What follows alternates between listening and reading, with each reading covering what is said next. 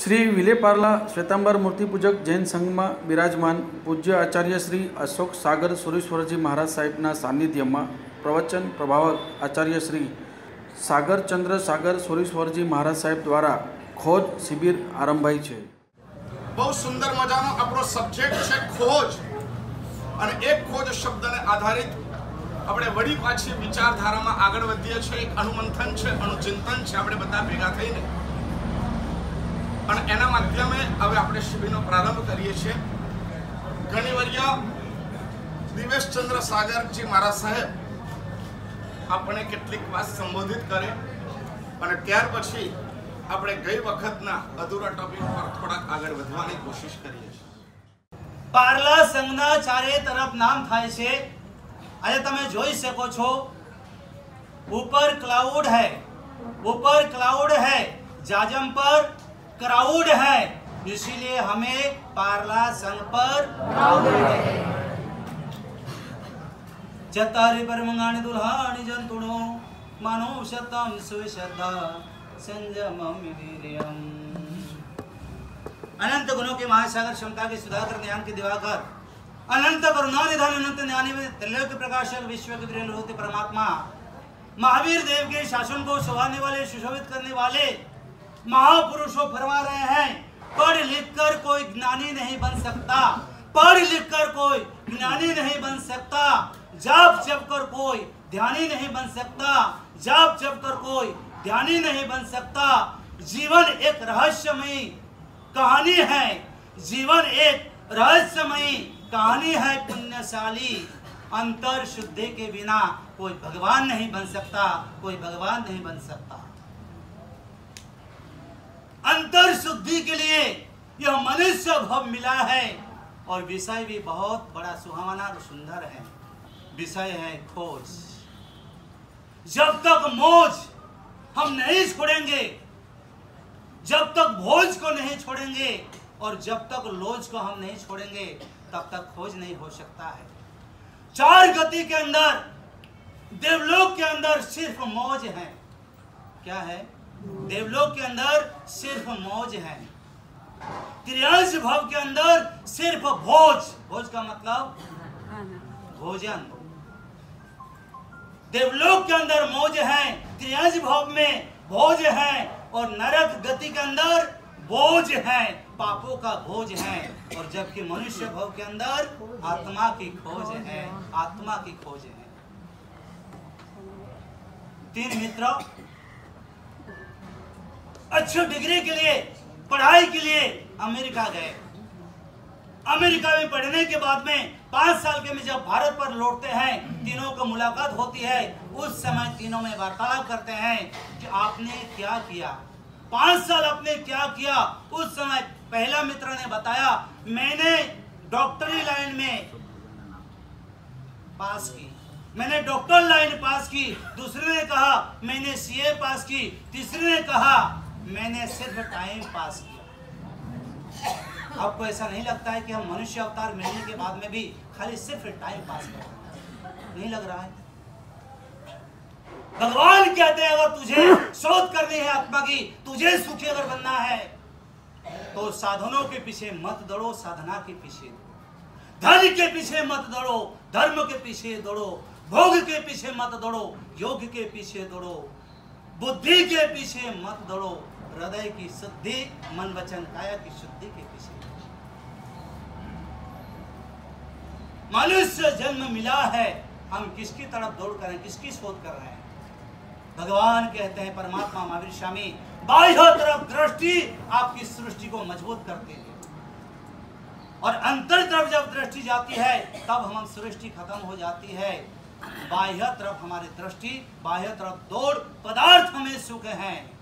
साधनों में सुख है, धन में सुख है, उसके पीछे हम दौड़ रहे हैं। सुबह से शाम तक मेहनत कर रहे हैं, आत्मा की खोज हम नहीं करते हैं। इसीलिए हमारे जीवन में पापों का बोझ इतनी बढ़ जाती है कि चार गति के अंदर हम परिभ्रमण करते हैं। परमात्मा बता रहे हैं और मुंबई वासी दस के पीछे दौड़ रहे हैं। सबसे पहले टाइमिंग सुबह उठते ही मुझे टाइम हो गया है, समय हो चुका है। टाइमिंग दूसरे नंबर के अंदर टिफ़िन जल्दी से मुझे भर दो। सबसे पहले टाइमिंग दूसरे नंबर में समय हो चुका है, जल्दी से मुझे टिफ़िन भर दो। टिफ़िन भरने के बाद में ट्रेन मुझे ट्रेन पकड़ना है। जैसे ही प्लेटफॉर्म में जाते हैं ट्रेन पकड़ने के लिए, उसके बाद में ticket timing train tiffin train ticket उसके बाद में ऑफ़िस में जाने के बाद में टॉकिंग टोकिंग करते हैं और टॉकिंग के अंदर भी उसके बाद में आया ट्रेडिंग क्या आया? ट्रेडिंग व्यापार की बातें करते हैं। ट्रेडिंग के बाद आया टॉर्चरिंग नहीं, फलाना माल इस भाव में नहीं होता है। फलाना मार्केट के अंदर ये भाव है, फलाना मार्केट में ये भाव है। ऐसे हम टॉर्चरिंग करते हैं। टॉर्चरिंग करने के बाद में क्या करते हैं? ट्रैवलिंग करते हैं। टॉर्चरिंग करने के बाद में भाव नृत्य होने के बाद में हम क्या करते हैं?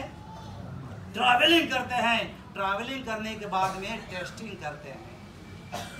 आप भी टेस्टिंग करते हैं। कौन से गुरु मास्टर को चौमासे में बुलाना है? साहेब जी, जल्दी से हमारा पार्ला संघ बहुत ही शानदार है, जोरदार है। आप पधारिए। वहाँ की श्राविका, वहाँ के श्रावक की भक्ति आप एक बार दीजिए। पधारिए। इसलिए हम बुलाते हैं? संघ के अंदर मास्टर को चौमासा नक्की करना है, तय करना हो तो आप क्या विनती करते हो साहेब जी?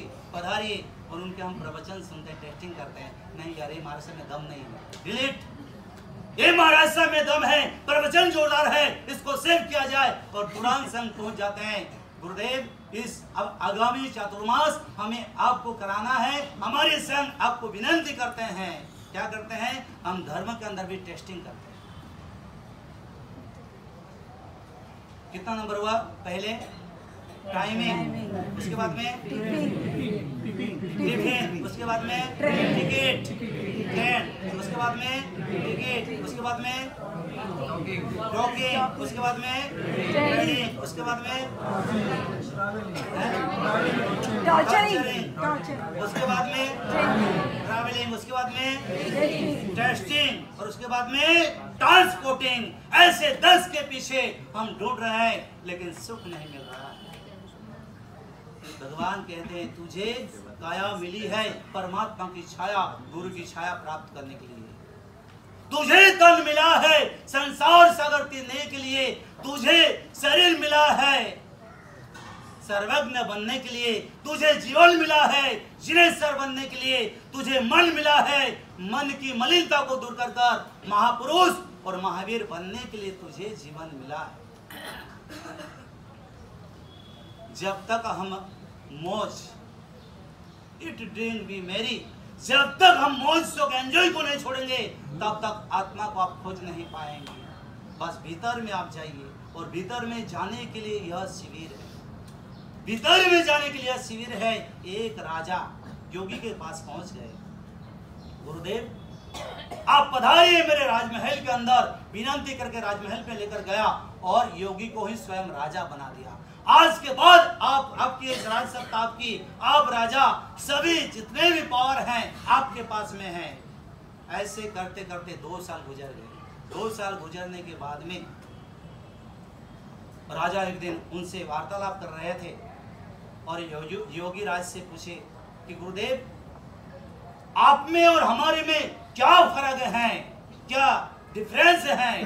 और उस समय संत ने कहा कि काम कर, आज शाम को मैं जब घूमने के लिए जाऊँगा, तब तो मेरे साथ आना, उस समय मैं तुझे जवाब दूँगा।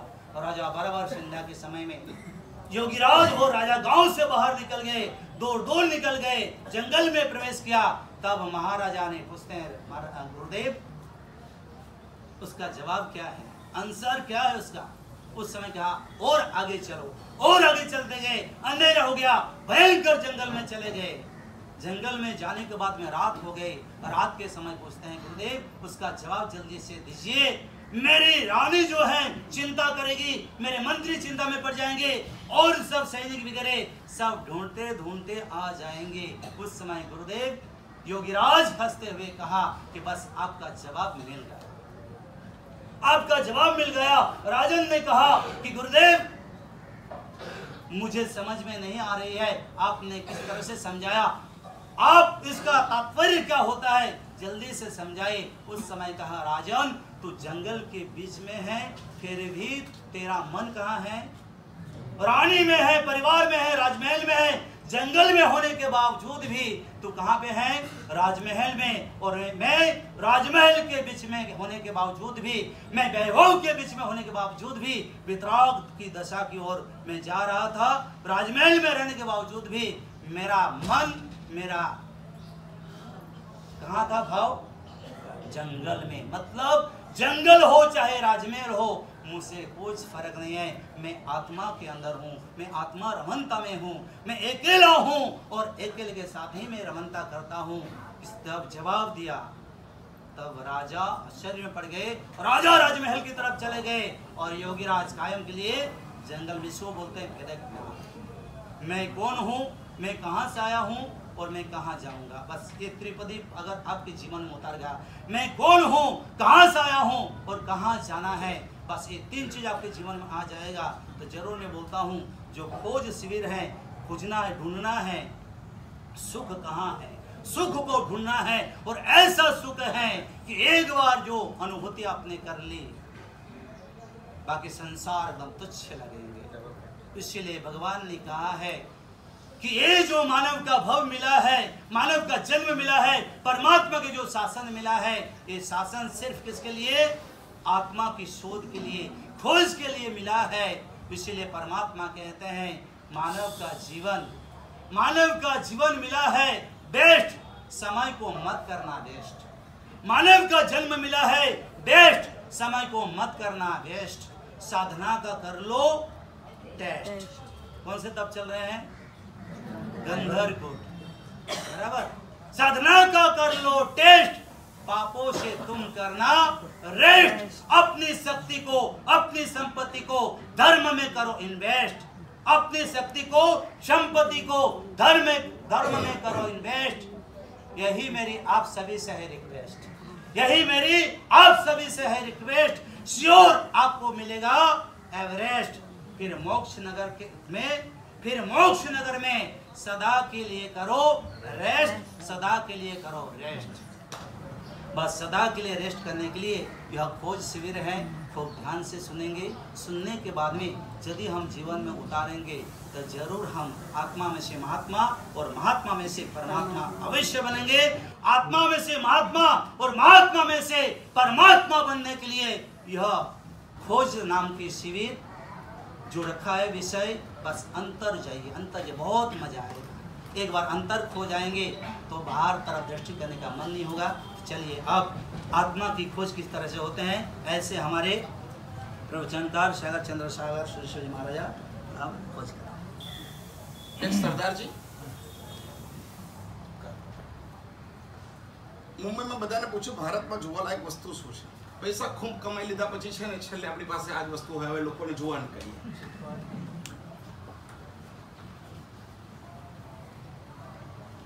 અને જેને કીધું, તાજમહલ બહુ સરસ મજાનો છે, જોવા જેવો છે. ક્યાં આવ્યો? આગ્રા આવ્યો. એક કામ કરો, જઈ આવીએ. પૈસા લીધા. પ્લેટફોર્મ પર આવ્યો. આગ્રાની ટિકિટ લીધી. ગાડીમાં બેસી ગયો. ગાડી ચાલવા માંડી અને જેમ ગાડી ચાલવા માંડી તેમ એને ઊંઘ આવવા માંડી આ બધી અલગ અલગ પ્રકારની એલર્જી હોય છે. ઘણાને ઉલટી થાય. ઘણાને વ્યાખ્યાનમાં આવે ત્યારે જ શાંતિથી ઊંઘ આવે આના જેવી શાંતિ ક્યાં મળે યાર? શાંતિથી ઊંઘવાનું ઊભા થઈએ તો પાછા પૈસા મળે. અલગ અલગ પ્રકારની એલર્જી હોય. અને ઊંઘ આવી ગઈ. ગાડી ચોલવા માંડી. અને એમ કરતા કરતા કરતા કરતા સવારના પાંચેક વાગ્યાનો સમય થયો. અને અચાનક એવું થયું, એક આંચકો આવ્યો. ગાડી ઊભી રહી. એની આંખ ખુલી ગઈ. ઊંઘમાંથી જાગી ગયો. બાજુમાં જ એક માણસ બેઠેલો હતો. એને રેડિયો ચાલુ કર્યો. અને એમાં આવ્યું યહ દિલ્હી હે. રોજ દિલ્હી આવી ગયું. પેલા રેડિયો બંધ કરી દીધો પેલા સીધી બેગ લઈ લીધી હાથમાં અને ગાડીમાંથી નીચે ઉતરી ગયો નીચે ઉતરીને પ્લેટફોર્મ ક્રોસ કરીને બહાર રોડ ઉપર આવી ગયો ટેક્સી ટેક્સી વાળો કે બોલો ઉઠાય कहाँ जाना है अरे कहाँ जाएंगे और मेरे को आगरा जाना है ताजमहल देखना है ठीक है बैठ जाइए રમ રમાણે ચાલવા માંડી ચાલવા માંડી ચાલવા માંડી ચાલવા માંડી ચાલવા માંડી ચાલવા માંડી ચાલવા માંડી ચાલવા માંડી, દોડવા માંડી દોડવા માંડી. બે, ત્રણ, ચાર કલાક સુધી દોડ્યા પછી એક બહુ મોટું ગ્રાઉન્ડ હતું.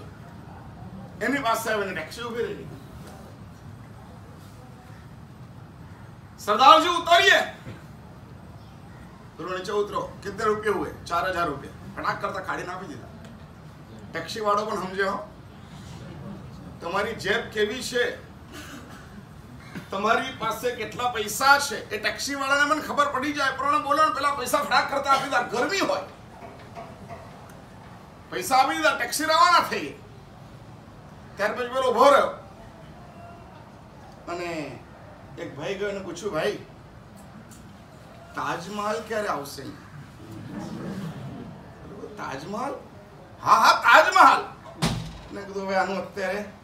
सबके लोग देखो सरदार जी, ये ताजमहल अभी एक्सरसाइज करने गया है। थोड़ी देर में आ जाएगा। यार भारत का इतना अच्छा स्थापत्य, इतने सालों के बाद भी खड़ा तभी रह सकता है कि जब जिम में जाए एक्सरसाइज करे। तभी वो अलमस्त रह सकता है हमारे यहाँ ऐसा शब्द है तवे न पुट्ठा जो तब करता है वो पुष्ट होता है और हमारे यहाँ ऐसा है सुबह उठ करके जो जिम में जाता है वो पुष्ट होता है दोनों में फर्क है દરમિયાન કે છે જેમ તપ કરો તેમ થોડા પોસ્ટ થાવ પેલો ચા નાસ્તો કરી આવ્યો હોટલ બુક કરી દીધી એમાં રહ્યો બપોર પડી સાંજ પડી સાંજે આવ્યો અલા ભાઈ હજી સુધી આવ્યો નથી એક દિવસ પૂરો થઈ ગયો બીજો દિવસ સવારે અર્લી મોર્નિંગ ગયો. ના આવ્યો તાજમહલ. બીજો દિવસ ગયો, ના આવ્યો. ત્રીજો દિવસ તો અકળાઈ ગયો. એમ થોડું ચાલે. હું મુંબઈ થી તાજમહલ જોવા માટે છેક અહીં સુધી આવી ગયો. અને આ કે આવી રીતના કોઈને કીધા કાછા વગર ફરવા માટે જાય ને એક્સરસાઇઝ કરે, એ થોડું ચાલે. બહુ જ રાહ જોવા માંડી. અકળાઈ ગયેલો ભયંકર. એટલામાં સામેથી એક સરદારજી બીજો આવ્યો. ચલો, તાજમહેલ ના મળ્યો પરંતુ જાતભાઈ તો મળ્યો. સાધર્મિકને જોઈને ખુશ થઈ જવાય. અમેરિકા ગયા હોય કોઈ ગુજરાતી મળી જાય, તો મજા આવી જાય ને? અને એમાં પણ પૂછો, તમે ક્યાં ના છો? કે હું મુંબઈ ના. હા, હું પણ મુંબઈ ની. તમે તમે ક્યાં ના અરે, હું પારલા હું પણ પારલા પછી ક્યાં? બજાજ રોડ. હું પણ બજાજ રોડમાં. એકવાર આવું થયું તું બેઉ જણ આવી વાતો કરતા કરતા કે, તું કયા ફ્લેટમાં રે? કયા અપાર્ટમેન્ટમાં રે? તો બંનેનો એપાર્ટમેન્ટ સરખો. પછી કયા ફ્લેટમાં રે? બંનેનો ફ્લેટ નંબર સરખો. એટલે બાજુમાં બેઠેલો તો, અલા, તમે લોકો કરો શું? અમે શું કરે તારે હું પંચાયત છે? અમે ટાઈમ પાસ કરીએ છીએ. વાતચીત તો કરવી છે. ઊંઘ ના આવે યાર. હાથમાં જોખમ હોય તો ઊંઘ આવવું જોઈએ. રાજુ નાણે બહુ છે. અને હા માણસ છે સરદારજીને જો ખુશ થઈ ગયો. આયો સરદારજી. બંને ભેટી પડ્યા. અને પછી એ કીધું અરે યાર આ ઇન્ડિયા છે એ શું છે કઈ ખબર જ નથી પડતી એને કીધું શું થયું અરે હું તાજમહેલ જોવા માટે આવ્યો છું ત્રણ દિવસ થઈ ગયા એ ગયો છે જીમમાં કસરત કરવા હજી સુધી પાછો આવ્યો નથી અને પેલા એક લાખો મારી દીધો જોરથી શાક કરતી પેલો ચમચમી ગયો अरे मेरा मारा क्यों तेरे पागल मैं सात दिन से यहाँ इंतजार कर रहा हूँ और तेरे को तीन दिन में कैसे मिल जाएगा તમે કેમ હશે એમ પૂછું છું. નહીં નહીં. નો જોકિંગ હું તમને પૂછું તમે કેમ હશે? બોલો ને યાર, તમારે બોલવાનું છે. મારું ગળું બહુ દુખે છે. હે? બંને પણ કેમ પણ એમ? પ્રોબ્લેમ શું? બંને પાગલ કેમ?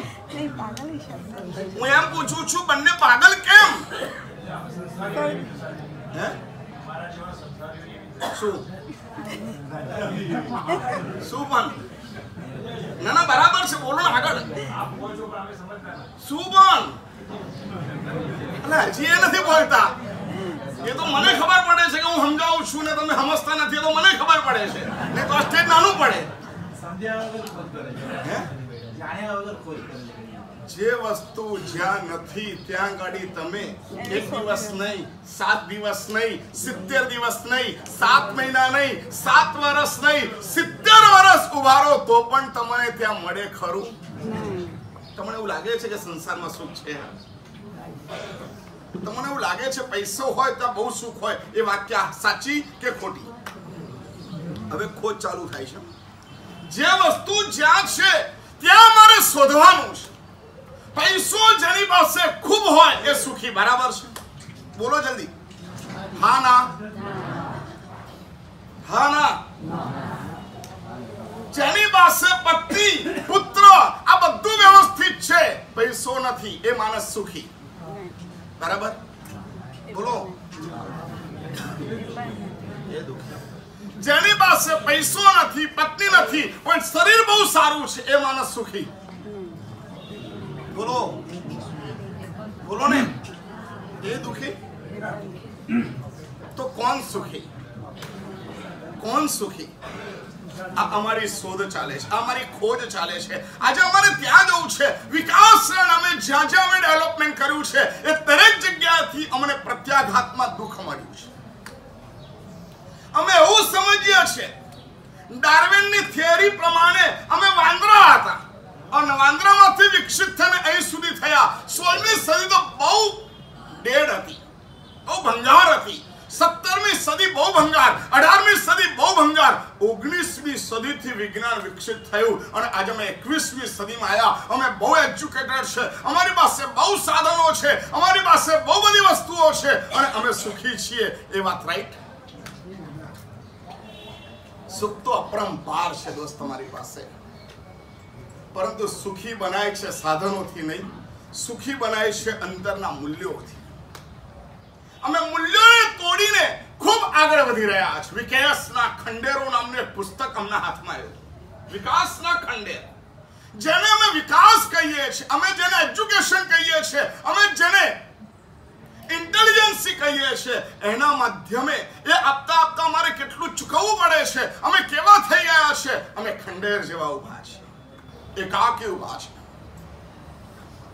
ભણેલા બેકાર વધારે કે ન ભણેલા બેકાર વધારે? જો સમજીને જવાબ આપવાનો હોય. આ બધા ઇન્ટેલિજન્ટ પ્રશ્ન કરી રહ્યો છું તમને. ભણેલા બેકાર વધારે છે કે નહીં ભણેલા બેકાર વધારે છે? શું? એટલે તમે તમારા દીકરાને બહુ ભણાવો છો. હે? એટલે તમે તમારા દીકરા પર બહુ જ પ્રેશર આપો છો, બહુ પ્રેશર આપો છો. બિચારાનું બોર્ડ હોય ત્યારે તો જોવા જેવી સ્થિતિ હોય. મમ્મી, પપ્પા બધા એની પર તૂટી પડેલા હોય. જાણે જેલની અંદર કેદી રહેલો હોય. અને આમાં જો પાસ ન થયો, તો બસ ખલાસ મરી ગયા. કેટલું પ્રેશર એના કરતા વધારે પ્રેશર એની મમ્મી રહેતી હોય. હજી બોર્ડ સ્ટાર્ટ થવાનું મારા સાહેબ, મારા દીકરાને બોર્ડ આવ્યું. વાસક્ષેપ આપજો. મારા સાહેબ વાસક્ષેપ આપજો. મારા દીકરાને બોર્ડ સ્ટાર્ટ થવાનું. એટલે હું થવા તો દે પણ. ભણવા તો દે. એક્ઝામ તો આવવા દે. હજી એ એક્ઝામ આવ્યા પછી રિઝલ્ટ આવવા દે. એની પહેલા તો એટલું બધું ટેન્શન એટલું બધું ટેન્શન હોય છે. કોમ્પિટિશન એ તમારા સ્ટેટસમાંથી ઊભું થાય છે. યાદ રાખજો.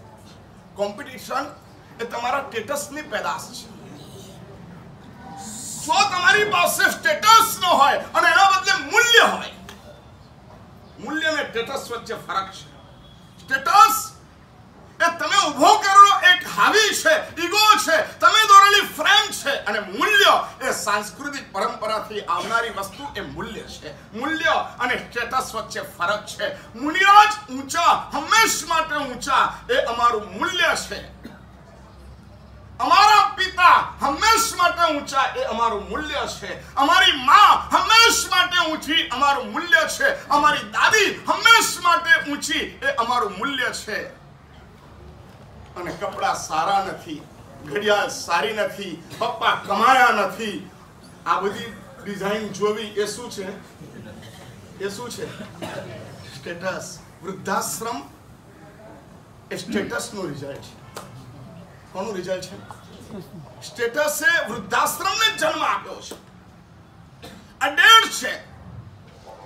અલે ભાઈ, મૂલ્યો ક્યારે પણ ડેડ થઈ શકતા નથી અને મૂલ્યો જ્યારે ડેડ થાય છે, તે વગેરે સમજી લેવાનું કે અમે વિકાસ કરતા ખંડે તરફ જઈએ છીએ પહાડ કરતા અમે ખાઈ તરફ જઈએ છીએ ઊંચાઈ કરતા અમે નીચાઈમાં ચાલ્યા જઈએ છીએ આજે મારી પાસે મૂલ્ય નથી. દાદીમાં કેટલાને ગમે એસી વર્ષના દાદી ઘરમાં બેઠા હોય તો મને કેટલાને ગમે? એની પાસે કાંઈ જ નથી. અમારી પાસે કદાચ સારું કોમ્પ્યુટર છે અમારી પાસે કદાચ સારો મોબાઈલ છે અમારી પાસે સારા કપડાં છે અમારી પાસે અમારી ડિગ્રીનું કદાચ કોઈ સર્ટિફિકેટ છે. દાદી પાસે કાંઈ જ નથી. બોલો ને ભાઈ. શું છે? શું છે બોલો?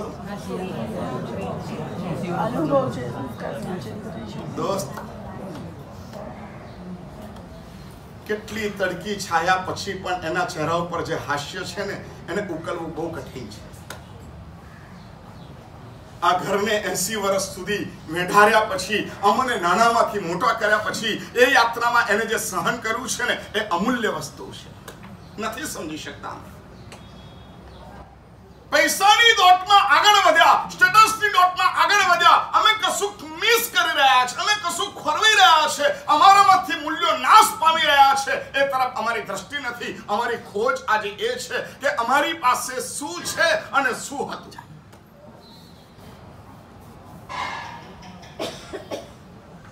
એક છોકરો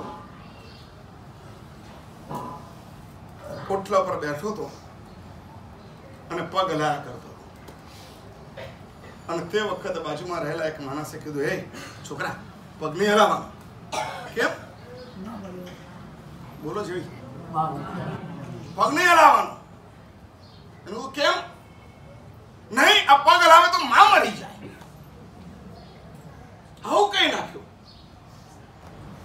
પેલો વિચાર કરે છે, આ પગને અને મારી માને શું સંબંધ? કોઈ વિજ્ઞાન ખરું કઈ?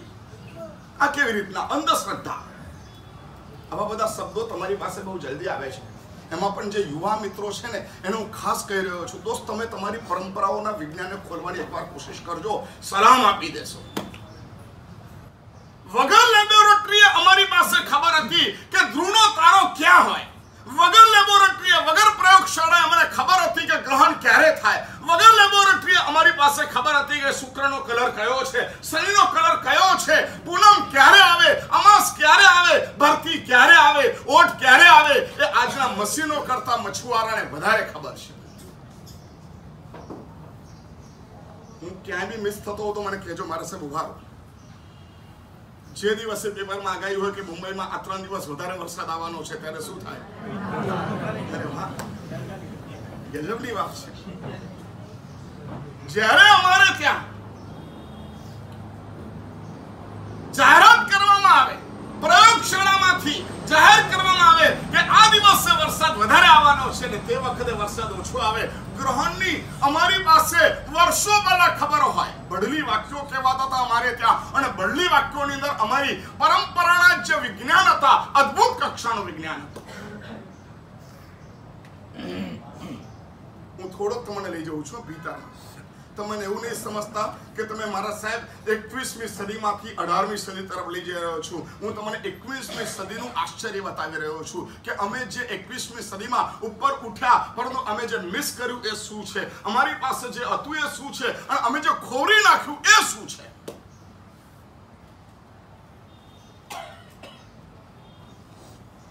સપ્તર્ષિ તારાનું વિજ્ઞાન સમજાવવામાં આવતું હતું મુંબઈમાં રહેલા માણસોએ ચંદ્રને ક્યારે જોયો જ ખરો? ચંદો કેવો હોય? ખબર છે? ખબર છે? બીજનો ચંદ્ર કઈ બાજુ ઉગે? બોલો. આમ આમ આમ આમ નહીં કરો.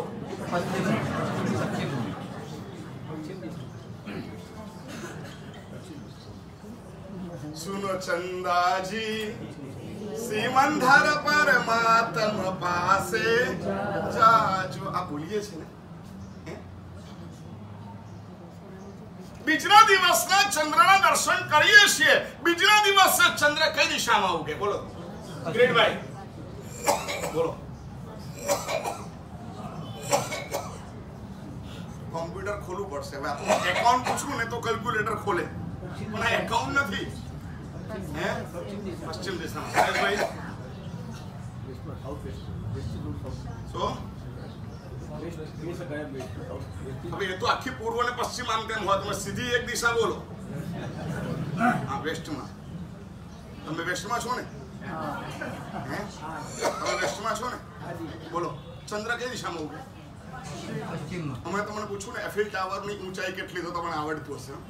અમેરિકામાં કઈ નદી એ તમને આવડતું હશે? પેરિસમાં શું જોવાનું એ તમને આવડતું હશે? ફ્રાન્સમાં શું જોવાનું તમને આવડતું હશે? સિંગાપુરમાં મોલ કયો સારો એ તમને આવડતું હશે? અમેરિકામાં જઈને શું જોવાનું એ તમને ખબર હશે? હોંગકોંગમાં તમારે શું ફરવા જવાનું તમને ખબર હશે? ચાઇનામાં જઈને તમારે શું જોવાનું એ તમને ખબર હશે? હવે મુંબઈમાં રહીને તમારે આકાશમાં શું જોવાનું એ તમને ખબર છે? અમે શું મિસ કરી રહ્યા છે કુદરતે અમને જે ખોબો ખોબો આપ્યો છે ને મિસ કરીએ છીએ, હું તમને બહુ સામાન્ય પ્રશ્ન પૂછું છું કે બીજના દિવસે ચંદ્ર કઈ દિશામાં ઉગે?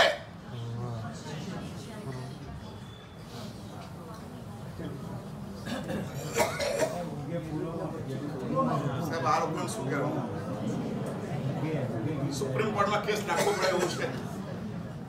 શું આમ આમ નહીં કરો? બોલો. પશ્ચિમ દિશામાં. બોલો ભાઈ. સાઉથ વેસ્ટમાં. બરાબર ને?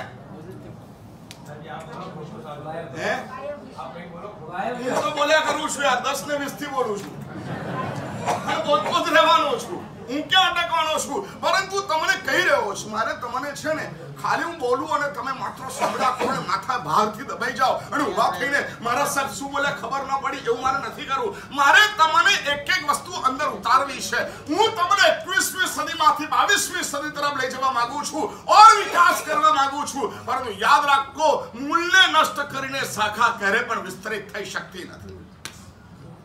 મૂળમાં આગ લગાડીને તમે ઝાડની શાખાઓની તરફ ફળની અપેક્ષા રાખો, નહીં આવી શકે. તમારે મૂળને સલામત રાખવું પડશે ને આપણું મૂળ છે.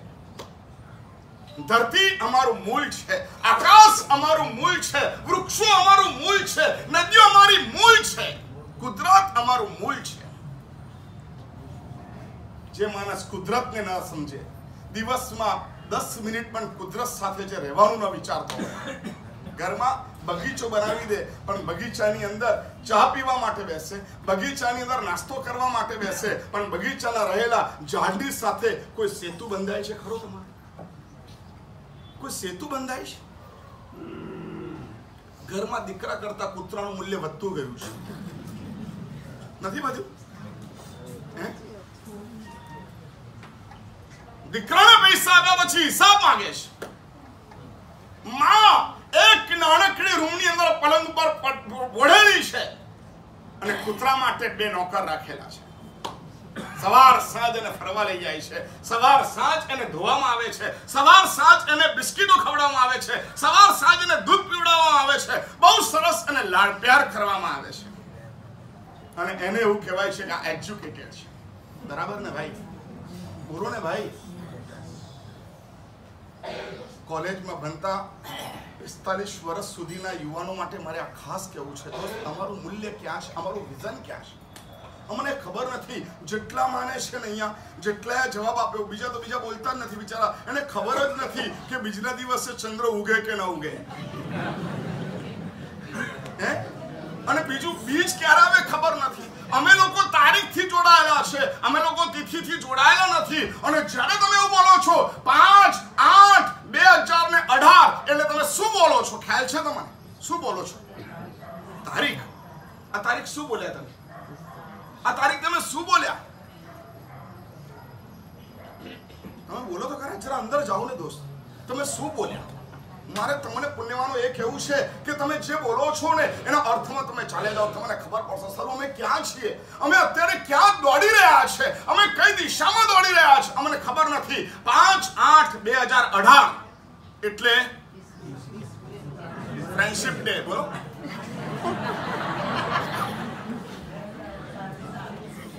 હું તમને ફ્રેન્ડશિપ જ કરાવું છું. તમારા મૂલ્યો સાથે તમને ફ્રેન્ડશિપ કરાવું છું. તમારી પરંપરા સાથે તમને ફ્રેન્ડશિપ કરાવું છું. તમારી અંદર રહેલા વિજ્ઞાનની સાથે તમને જોડું છું. ઈસુ ખ્રિસ્તને ઈસુ ખ્રિસ્તને ક્રાઇસ્ટને મરે બે હજાર ને અઢાર વર્ષ થયા ઉપર આઠ મહિના થયા અને એની ઉપર પાંચ દિવસ થયા. આ તમે બોલી રહ્યા છો. ખ્યાલ છે તમને? ખ્યાલ છે? તમારા ભગવાન મહાવીરને મરી ગયે. કાલ ધર્મને પામે, નિર્વાણને પામે. કેટલા વર્ષ થયા? કેટલા વર્ષ થયા? અને એટલા માટે મેં કીધું છે કે પિસ્તાલીસ ઉપરના ફાઇન પૂર્ણિમાનો ના આવો તો વધારે સારું. તો મારે એક્ઝામ લેવામાં ખબર પડે. જો કે અલબત્ત એને નથી આવડતું હતું. અમારા મૂલ્યો ખતમ થઈ રહ્યા છે. અમારે ભગવાન ક્રાઇસ્ટ ક્યારે મર્યા? એની સાથે કોઈ નિસ્બત ખરી? ખરી? અમે શા માટે બોલીએ? પાંચ, આઠ, બે હજાર અઢાર શા માટે બોલીએ? અમને આજની તિથિ બોલતા કેમ નથી આવડતું? અષાઢ, વદ, આઠમ અને રવિવાર. આવું બોલતા કેમ નથી આવડતું? અત્યારે કયા ચોઘડિયા ચાલે છે એ મને કેમ ખબર નથી? અમને આ બધું ખબર છે. મેં બહુ સામાન્ય પ્રશ્ન કર્યો છે. કે બીજના દિવસે ચંદ્ર કઈ દિશામાં ઉગે છે તમને નથી આવડતું? આકાશમાં સપ્તર્ષિ ક્યાં હોય છે તમને નથી આવડતું? બુધનો તારો કેવો હોય? ગુરુનો તારો કેવો હોય? શુક્રનો તારો કેવો હોય? અલ્યા ભાઈ અમારા યોગ શાસ્ત્રની અંદર તો હેમચંદ્રાચાર્ય ભગવાન એમ કહી રહ્યા છે કે તારાને જોઈને ખબર પડે કે હવે તમારું મૃત્યુ ક્યારે છે? શું કહું છું? આકાશમાં રહેલો સ્ટારોને જોવાની પદ્ધતિ છે. અને એ સ્ટાર તમે જુઓ તો તમને ખબર પડે કે તમારું મૃત્યુ હવે કેવું છે. છ મહિના પહેલા તમને એ તારા કહી દે કે આ છ મહિનામાં તમે જવાના છો કે નથી જવાના? આવું જ આજ રાત્રે બોલો. બતાવી દઉં તમને. બધાને તારા બતાવી દઉં. અત્યારે ખુલ્લી આંખે દિવસે તારા દેખાય છે ને.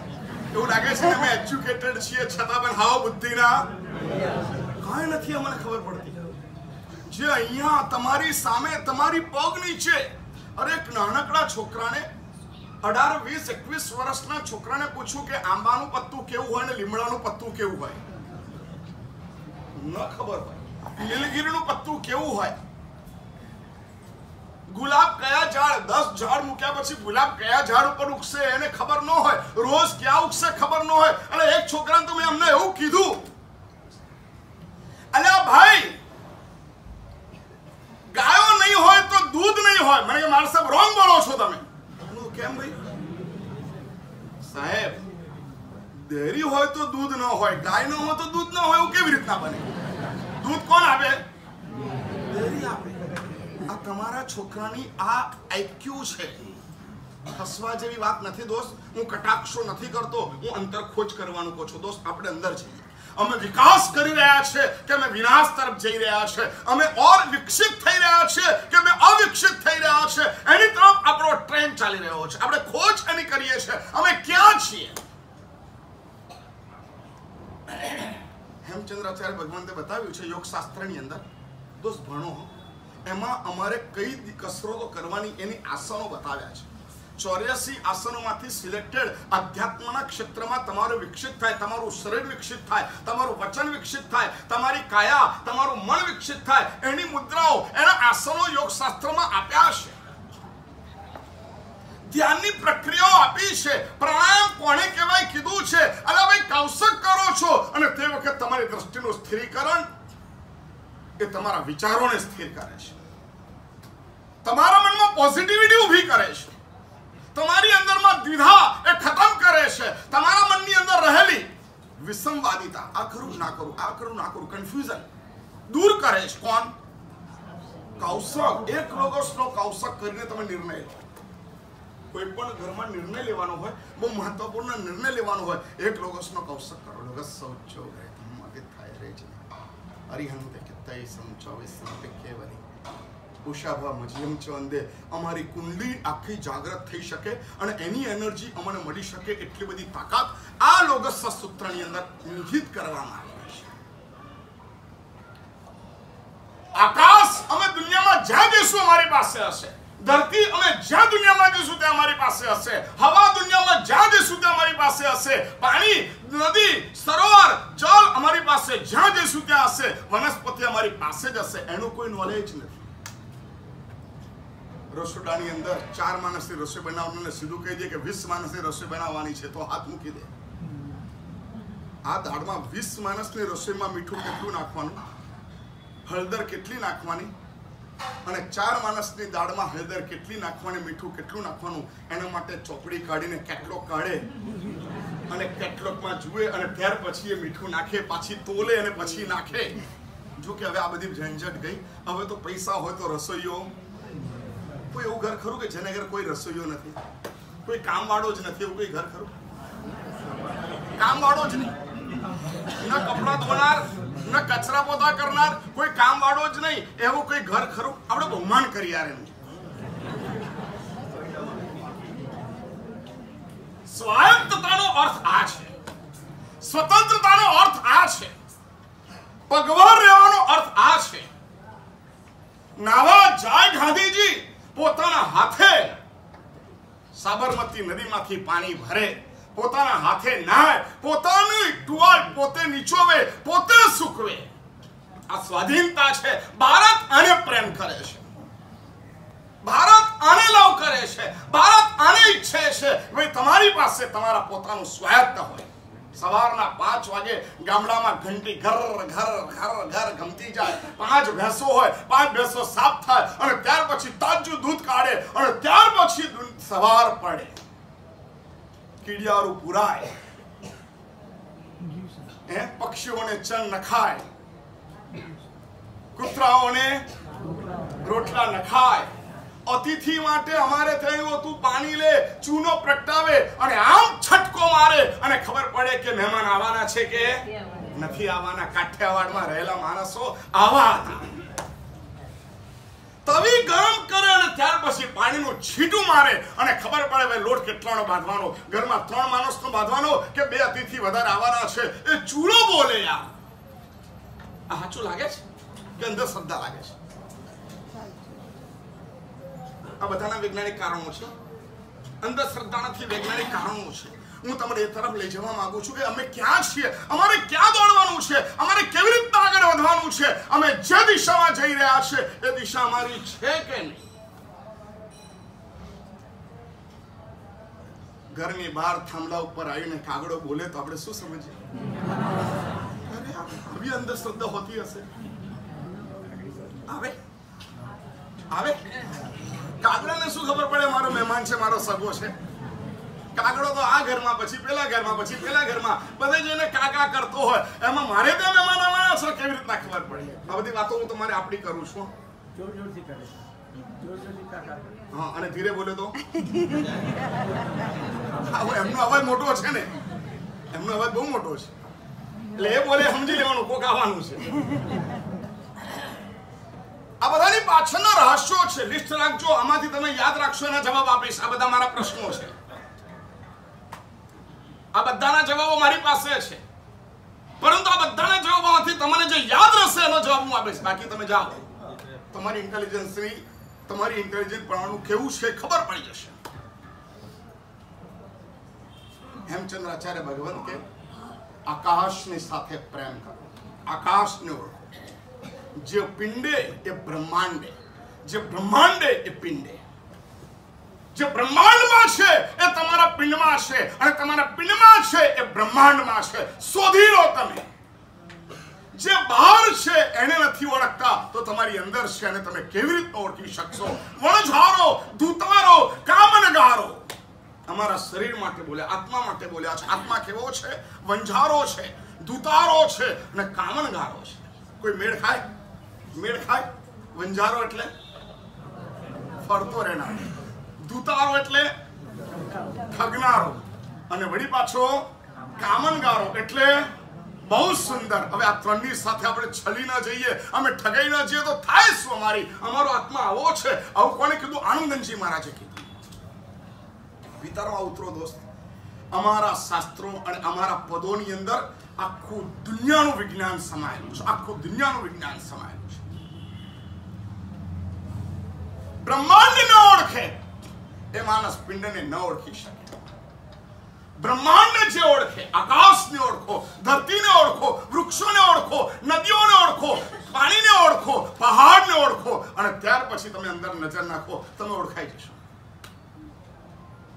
ઘાતી, ડુંગર, આડા, અતિગણા તુમ દર્શન જગન્નાથ, પરમાત્માની સાથે સ્તવન ગાતા ગાતા, અભિનંદન પરમાત્માનું સ્તવન ગાતા ગાતા આનંદનજી મહારાજ આવું બોલે છે.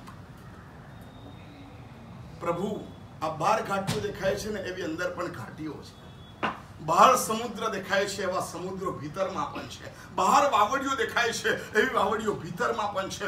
બહાર આટલા બધા વિરાટ વિશ્વના સ્ટાર દેખાય છે, ભીતરમાં પણ એવા સ્ટાર છે, શક્તિ કેન્દ્રો છે, જેમાંથી ઊર્જા અપરંપાર વહી રહી છે. પરંતુ આજનું વિજ્ઞાન માત્ર ઇકોનોમી ઉપર ઊભું છે. અમારો ખુલ્લો આક્ષેપ છે. અને આક્ષેપ મારો નહીં. આજના બહુ વિદ્વાન સમાજ શાસ્ત્રીઓનો આ વિકલ્પ છે. આરોપ છે. એટલું જ નહીં. સફારીના અંકો જોશો તો નગેન્દ્ર વિજય આના પરનો લેખ લખ્યો છે. અદ્ભુત લેખ લખ્યા છે.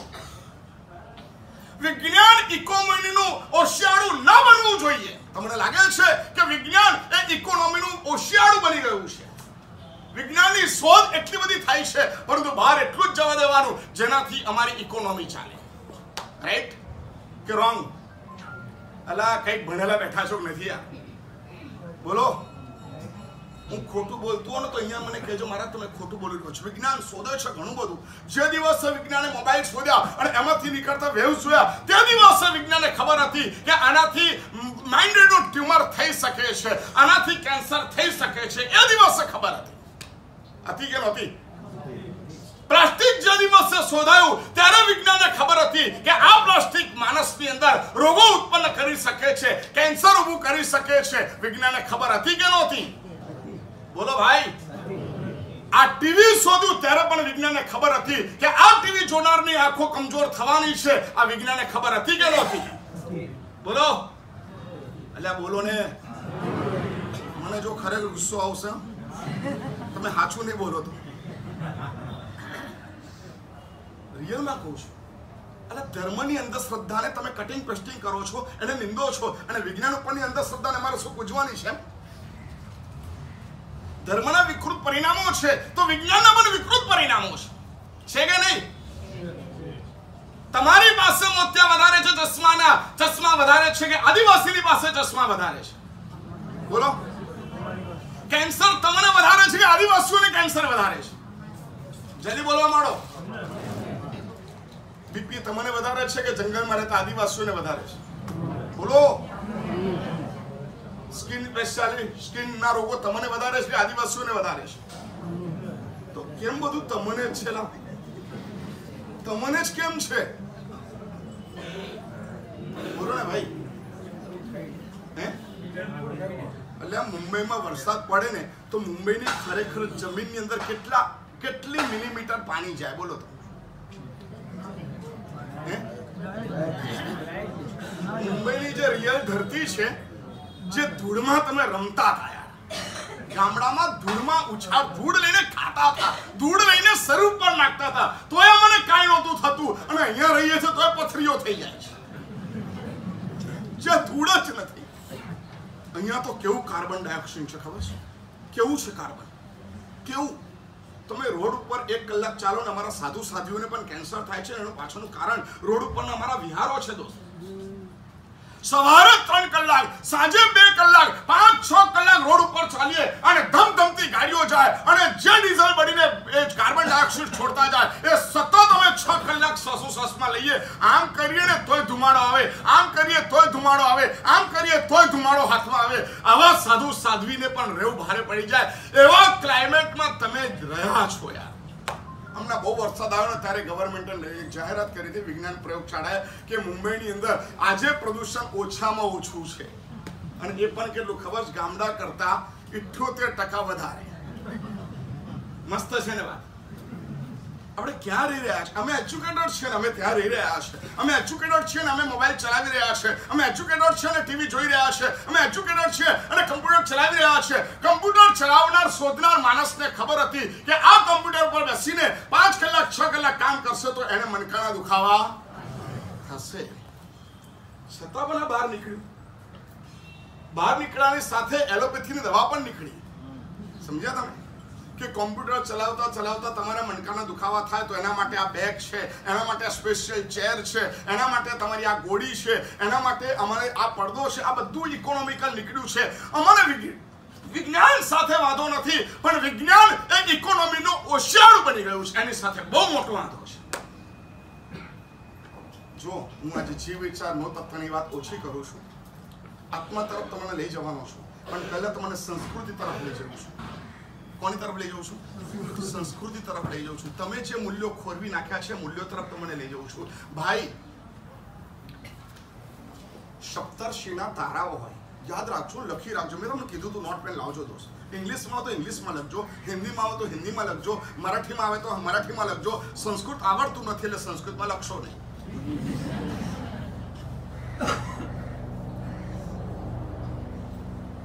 હેમચંદ્રાચાર્ય ભગવંત લખે છે આકાશની અંદર સપ્તર્ષિના તારા હોય એ તારા કેવી રીતના હોય, ખબર છે તમને?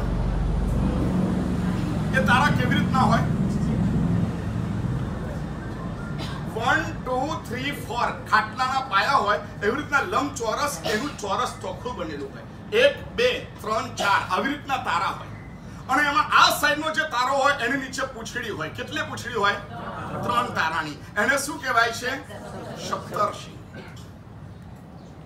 જો કે હવે ભણતા માણસોને આ બધા શબ્દો નહીં આવડ્યા પરંતુ બહુ જરૂરી છે. ડોશી માનું વૈદું બહુ જરૂરી છે. જીવાડવું જરૂરી છે ભાઈ. અમારા રસોઈની અંદર હળદર કેમ નાખવાની, મરી કેમ નાખવાના, રઈ કેમ નાખવાની, મેથી કેમ નાખવાની અને મીઠું કેમ નાખવાનું, એનું વિજ્ઞાન સમજવા જેવું છે. ખાલી ટેસ્ટ માટે નથી. તુવરની દાળમાં રઈ કેમ નાખી ક્યારે પ્રશ્ન નથી કર્યો હે?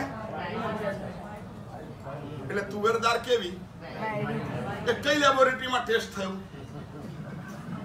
બહુ સમજવાનું નથી. ચના કેવા? વાલ કેવા?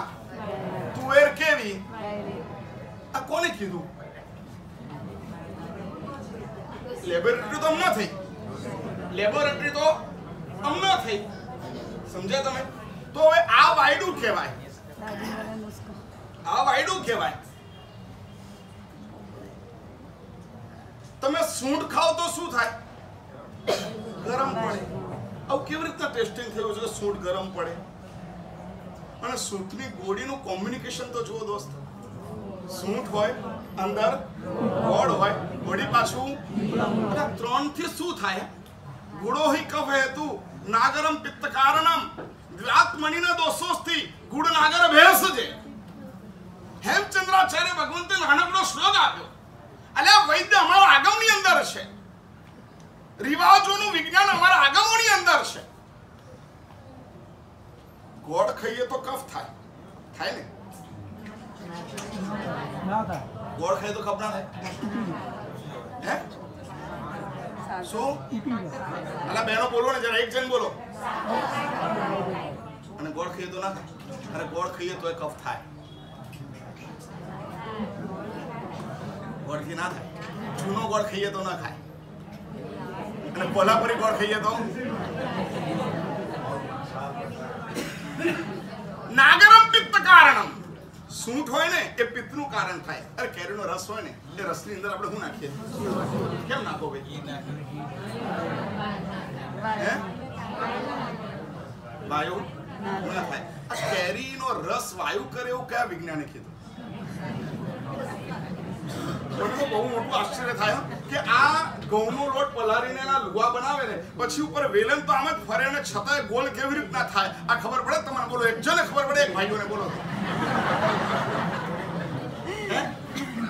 હવેના જમાનાને ટેકનોલોજીને મશીન લાવવું પડે. લુઓ હોય, મશીન ખોલે, એની ઉપર મૂકે લુઓ, ત્યાર પછી મશીન આમ ફિટ કરે, એટલે કેવું થઈ જાય? ગોળ થઈ જાય. અને પેલું સારું વેલણ લે અને આમ આમ આમ આમ જ કરું. તો એકવાર જોયા જ કરું. કેવી રીતે goal goal goal goal goal આમ જ કરે અને મારું બેટું નીચે ગોલ ગોલ, એની મેળે થતું જાય, એની મેળે થતું જાય, ખબર પણ ન પડે. અને કેવું ગોલ થાય? જાણે પૂનમનો? આ આઠ ક્યાંથી આવી ભાઈ? આ બધાનું મૂલ બતાવી રહ્યો છું. હું આ મફત્યા નથી બોલી રહ્યો, દોસ્ત. આ બધું જે કહી રહ્યો છું ને, એની પાછળનું કારણ છે પુણ્યવાનો ત્યાસી લાખ પૂર્વ સુધી ઋષભદેવ પરમાત્માએ આ કામ કર્યું છે. રોટલી ગોલ કેમ છે? એનું કારણ ઋષભદેવ પરમાત્મા છે. દાળ વાયડી કેમ છે? એ સમજાયું છે કોને? ઋષભદેવ. પરમાત્માએ. એમાં રઈનો વઘાર ક્યારે કરવાનો અને કઢીમાં મેથીનો વઘાર કેમ કરવાનો? એનું કારણ મને કોને શીખવાડ્યું છે? આદેશ્વર દાદા શીખવાડ્યું છે. અમારું વિજ્ઞાનની લેબોરેટરી સૌથી પહેલી આદિનાથ દાદા હતા. આજે અમારી પાસે ટેકનોલોજી એક મિનિટ માટે વિચાર કરી નાખો કે આજની લાઈફની અંદરથી ઇલેક્ટ્રિકસિટી જતી રહે તો શું થાય? શું થાય? કેટલા વર્ષ થાય? ખબર આ લાઈટને શોધાય કેટલા વર્ષ થાય? આ લાઈટને શોધાય કેટલા વર્ષ થાય? હે? શું પચાસ સાઠ વર્ષ કોને શોધી? ટેસ્લા રે યાર ખરેખર. મારે હવે તમારી કોલેજમાં આવવું પડશે. તમારા ટીચરોને મળવું પડશે.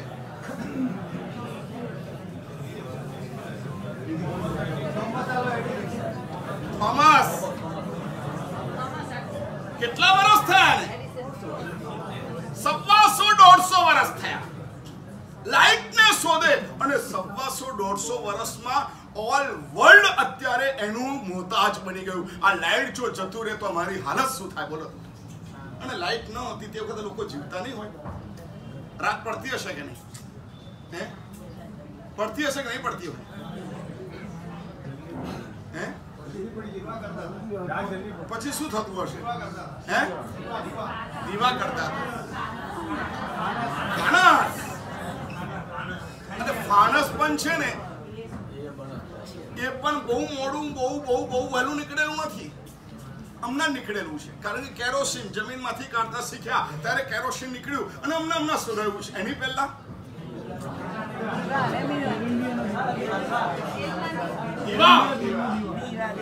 ઘીના દીવા! અરે ઘીના દીવા કેમ થતા હશે સારું દેરાસરનું ઘી હળગાવું ભારે પડે છે. પોલ્યુશનમાં કેવું પડે ભાઈ અખંડ દીવો ચાલે છે. આટલા દીવા દરરોજ પડે છે. ફંડ કરો આટલા રૂપિયા લખાવો ત્યારે દેરાસરના દીવાને માર પહોંચી વળાય છે. અને એનાથી કાળું થાય એ સફાઈ તો દસ પંદર વર્ષે થાય. પચાસ વર્ષ દેરાસર આવવાનો હોય ત્યારે સફાઈ થાય. અમારી આવી હાલત છે. અને અમારે ત્યાં ગોધન એટલું બધું હતું કે ઘી બેસુમાર હતું. ક્યારે પણ છાસના તો પૈસા નહોતા દોસ્ત. હે? દૂધના પૈસા નહોતા, છાસના પૈસા નહોતા. આજે તમારે ત્યાં પાણીના પણ પૈસા છે. આવી રહ્યું છે થોડાક વર્ષોમાં. શુદ્ધ હવાના પણ પૈસા તમારે આપવા પડશે. ત્યારે તમને શુદ્ધ હવા મળશે. તમે જે પાણીની બિસ્લરી લઈને દોડો છો ને, એવી રીતના બીજી બોટલ પણ લઈને દોડવાનું છે કે જે ઓક્સિજન હશે, એ આમ બાંધીને ઓક્સિજન આવતી જાય એવી બોટલમાંથી અને એમ કરીને તમારે નીકળવાનું છે. અને એ પણ સ્કૂલમાં છોકરાઓ માટે ફરજિયાત થશે. બોટલ નથી, ઓક્સિજન રક્ષા પોટલી ન ચાલે. પરંતુ ઓક્સિજનની બોટલ લઈને જવું પડશે, આવા નિયમો આવશે દોસ્ત. આપણે જે રીતે દોડી રહ્યા છે, જે ટ્રેકમાં જઈ રહ્યા છે, તે આ દિવસો બહુ દૂરના નથી. થોડાક વર્ષો પહેલા પાણી લઈને જવામાં શરમ આવતી હતી. ઉકાળેલું પાણી એટલે નથી પીતા. સાહેબ બોટલ લઈ લઈને ફરવું પડે. એટલા માટે ઉકાળેલું પાણી નહોતા પીતા. આ વીસ વર્ષ પહેલાની વાત છે, પચીસ વર્ષ પહેલાની વાત છે. અને અત્યારે ઘરમાંથી નીકળીને બિસ્લરી લીધા વગર નીકળે તો પાણી લઈને નીકળવું હવે સ્ટેટસ થઈ ગયું. કારણ કે હવે દુનિયામાં ચોખ્ખું પાણી મળતું નથી. હરેશભાઈ, ખબર પડે છે ને આપણે ક્યાં છીએ? લાગે છે કે આપણે બહુ વિકાસ કર્યો છે? આપણે કેટલો મૂલ્ય ભૂલી ગયા? આપણે ક્યાં પહોંચી ગયા? આપણે કેટલા બધા પાછળ પડી ગયા? આપણી પાસેનું વિજ્ઞાન કેટલું ખતમ થઈ ગયું? એના નિશાનીઓ છે. સપ્તર્ષિના તારાઓની અંદર પાછળ રહેલા ત્રણ તારા અને એમાં ત્રણની વચ્ચેનું સેન્ટરનો તારો, એની નીચે અનિરુદ્ધ નામનો તારો હોય, એ તારો તમે જોઈ લો તો સમજી લેવાનું, હવે છ મહિના સુધી હું મરવાનો નથી. જોઉં છો પ્રયોગ કરવો છે? બોલો. હે? શું બોલ્યા?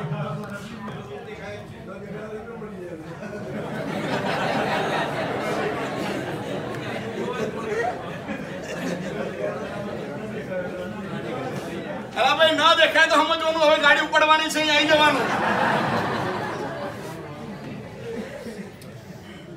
માણસ હકનો તો રે. અમારે ત્યાં આવા આવા પ્રયોગો હતા. અને એની પાછળના વિજ્ઞાન હતા એની પાછળનું રીઝન હતું યાર. બધા જ ખોટા પડ્યા. ચંદ્ર પશ્ચિમ દિશામાં બીજના દિવસે ઉગે છે. બધા જ રોંગ છો યાર. બધા જ રોંગ છો. આશ્ચર્ય છે. હે? થોડી વાર માટે જ ઉગે. પછી? આમે. ચકલી ઉડે ફુર રે.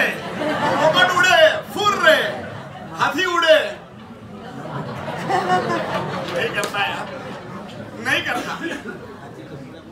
અલ્યા ભાઈ બીજનો સૂરજ પણ પૂર્વ દિશામાં જ ઉગે. સૂરજ પૂર્વ દિશામાં ઉગે ચંદ્ર પૂર્વ દિશામાં ઉગે તારા પૂર્વ દિશામાં ઉગે ગ્રહો પૂર્વ દિશામાં ઉગે નક્ષત્ર પૂર્વ દિશામાં ઉગે. તમને ખબર છે આકાશમાં પાંચ વસ્તુ હોય? સૂરજ હોય ચંદ્ર હોય તારા હોય નક્ષત્ર હોય અને ચલો આજે રાત્રે આવશો બોલો આકાશ. તમને ખબર પડે ગ્રહ કોને કહેવાય, નક્ષત્ર કોને કહેવાય તારા કોને કહેવાય? સારું, ઘરની છત ઉપર જે છે, એનું નોલેજ નથી. અને રૂમની અંદર ગૂગલ સર્ચ કરીને બેઠો છે. આખી દુનિયાને જોવા માટે બેઠો છે.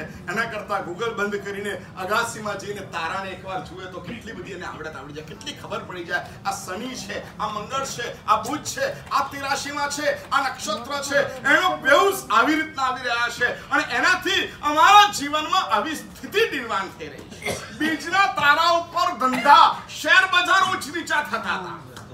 ઉત્તર ગુજરાતની અંદર હું હતો.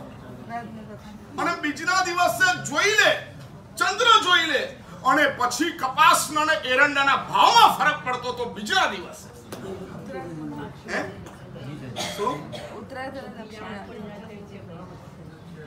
જો સાધુજી ભગવાનને ખબર છે, જઈ આવું છું.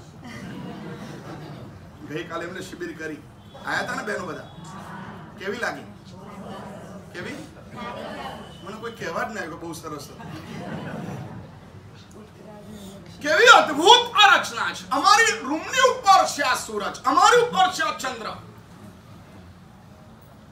બીજનો ચંદ્ર પણ પૂર્વ દિશામાં જ ઉગે છે. હરેશભાઈ, કઈ દિશામાં? પૂર્વ દિશામાં ઉગે છે. સૂર્ય પૂર્વ દિશામાં કાયમ માટે ઉગે. ચંદ્ર પૂર્વ દિશામાં કાયમ માટે ઉગે. ગ્રહો નક્ષત્રો તારા પણ હંમેશ માટે ઉગે. એ કઈ બાજુથી ઉગે? પૂર્વમાં ઉગે. અને કઈ બાજુ આથમે? પશ્ચિમમાં આથમે. તમે બીજના દિવસે જ્યારે જુઓ છો ને ચંદ્ર ત્યારે પશ્ચિમમાં જુઓ છો. પરંતુ એ આથમતો ચંદ્ર જુઓ છો. કયો ચંદ્ર જુઓ છો? કારણ કે ઉગે ક્યારે? ખબર છે તમને? હે? હવે હું યાર શું કરું તમને? જ્યોતિષ શીખવાડવા બેઠું, ભૂગોળ શીખવાડું. ખગોળ શીખવાડું, શું શીખવાડું યાર? કન્ફ્યુઝ હું થઈ ગયો આજે. મારે ક્યાં સ્ટાર્ટ કરવું? આ તો હજી બહુ સ્થૂળ છે. આપણે ખોજમાં ઊંડા ઉતરીને આત્મા સુધી જવું છે. પણ આપણે તો હજી કિનારા ઉપર પણ છપછપિયા નથી કરી શકતા. ભાઈ, અમાસના દિવસે અમાસના દિવસે આકાશમાં સૂરજ બોલો. અમાસના દિવસે આકાશમાં સૂરજ હોય.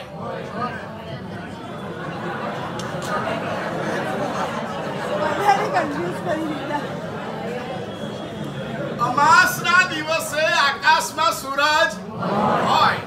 અમાસની રાત્રિએ, એક આવો જોક્સ હતો ખબર મને યાદ આવ્યો હમણાં. મને એક જણે કીધું મારા સાહેબ કોડી ભમ્મર અમાવસ્યા. ના દિવસે કાળા ભમ્મર રોડ ઉપર એક પણ લાઈટ ચાલુ નહોતી. અને સિંગલ રોડ હતો. અને બે ગાડી સામ સામેથી એકસો એસી ની સ્પીડમાં આવતી હતી. અને છતાંય બંને બહુ સરસ રીતે ક્રોસ કરીને નીકળી ગયા. કેવી રીતના બને? લાઈટ બંધ હતી. સ્ટ્રીટ લાઈટ નહોતી. ગાડીની લાઈટ નહોતી. અને છતાં પણ ક્રોસ કરી. અમાવસના દિવસે. હા? કારણ કે અમાવસનો દિવસ હતો યાર. શું હતું? એક જણે મને કીધું હતું મારા અમે રૂમમાં ગયા ને ત્યાં આગળ બલ્બ હતો અને બલ્બને કોઈ કનેક્શન નહોતું. અને છતાં પણ એની ઉપર જે લટકતો બલ્બ હતો ને બંધ થાય પૂજાય બંધ થાય પૂજાય બંધ થાય પૂજાય બંધ થાય પૂજાય બંધ થાય પૂજાય આવું થતું હતું. શું હશે ત્યાં? નહીં હોય. આ બધું શીખવાનું છે એના માટે આ બધું કામનું છે. હમણાં ગુરુમાં આ બધું શીખવાડતા હતા. બે સૂત્રોની અંદર ગરબડ કરીશ તો આવું થશે. શું? હું બોલું ને એનો અર્થ કરજો. હું બોલું ને એનો અર્થ કરજો. ક્રેડિટ મારી દુ કાનમાં હું તમ પ રકાર નોચે ડોમ લે છે અરે યાર ગુજરાતી બોલ્યો છું. ફરી બોલું? ફરી બોલું? મારી દુ કાનમાં હું તમે પર અકાર છે ડોમ લે છે. કારણ કે શોપિંગ જ કરવા જાય યાર. એક એક બોર્ડને આમથી વાંચે આમથી વાંચે આમથી વાંચે આમથી વાંચે. પણ એક બેનને હું ભુખરવતી બોલાવ તો ભૂલ પડે. નમુથન બોલાવ તો ભૂલ પડે. અમારા દાદા મારા ધર્મસાગરજી મારા જીવિચાર વિચાર પહેલેથી ભુવનભાઈનો વિરમ ત્યાંથી બોલાવે? અને ત્યાર પછી શું કરે? બોલે છેલ્લી ગાથા. પછી એના પહેલાની ગાથા એના પહેલાની ગાથા. આવી રીતે ઊંધો સ્વાધ્યાય કરવાનો. પછી વચ્ચેની ગાથાઓ બોલાવે. અડત્રીસમી ગાથા, બારમી ગાથા, આઠમી ગાથા, અઢારમી ગાથા. આવી રીતના સ્વાધ્યાય કરાવે. નૌકાર. નમોરે હિંતાણ નમો સિદ્ધામ પડમમ હોય મંગલમ કરે. ઊંધો બોલો.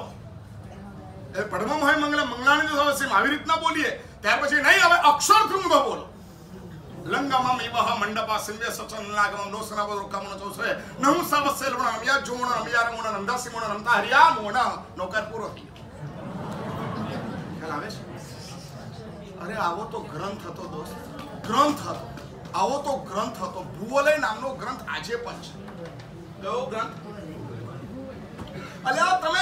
બહુ ઊંચા છો અને તમારા ધર્મગુરુ ચાર દિવાલમાં રહીને બહુ ઊંચાઈ પર છે.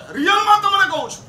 સારામાં સારા વૈજ્ઞાનિકોની અને આ પ્રશ્નને જ્યારે ખોલીએ ત્યારે એ લોકો પણ કાનપટ્ટી પકડે, બહુ સાચી વાત છે. વિજ્ઞાન હંમેશ માટે ઇકોનોમીનું ઓશિયાળું રહ્યું છે અને એના કારણે સમાજમાં વિજ્ઞાને જે નુકસાન કર્યું છે એ પચીસો વર્ષ પછી પણ ધર્મે નુકસાન હજી સુધી નથી કર્યું. રિયલમાં તમને કહું છું. આ વિજ્ઞાને તમારું શરીર તોડી નાખ્યું છે. ધર્મે ક્યારે નથી કર્યું માસ ખમન કરીને પણ તમારા શરીરને તોડવાનું કાર્ય ધર્મે નથી કર્યું. અઠાઈ કરીને તોડવાનું કાર્ય ધર્મે નથી કર્યું. તમારા શરીરને તોડવાનું કાર્ય વિજ્ઞાને ચોક્કસ કર્યું છે? આદિશ્વર પરમાત્માનું કેટલું આયુષ્ય નથી પાછું? કેટલું? પહેલા કેટલું આયુષ્ય હતું ખબર?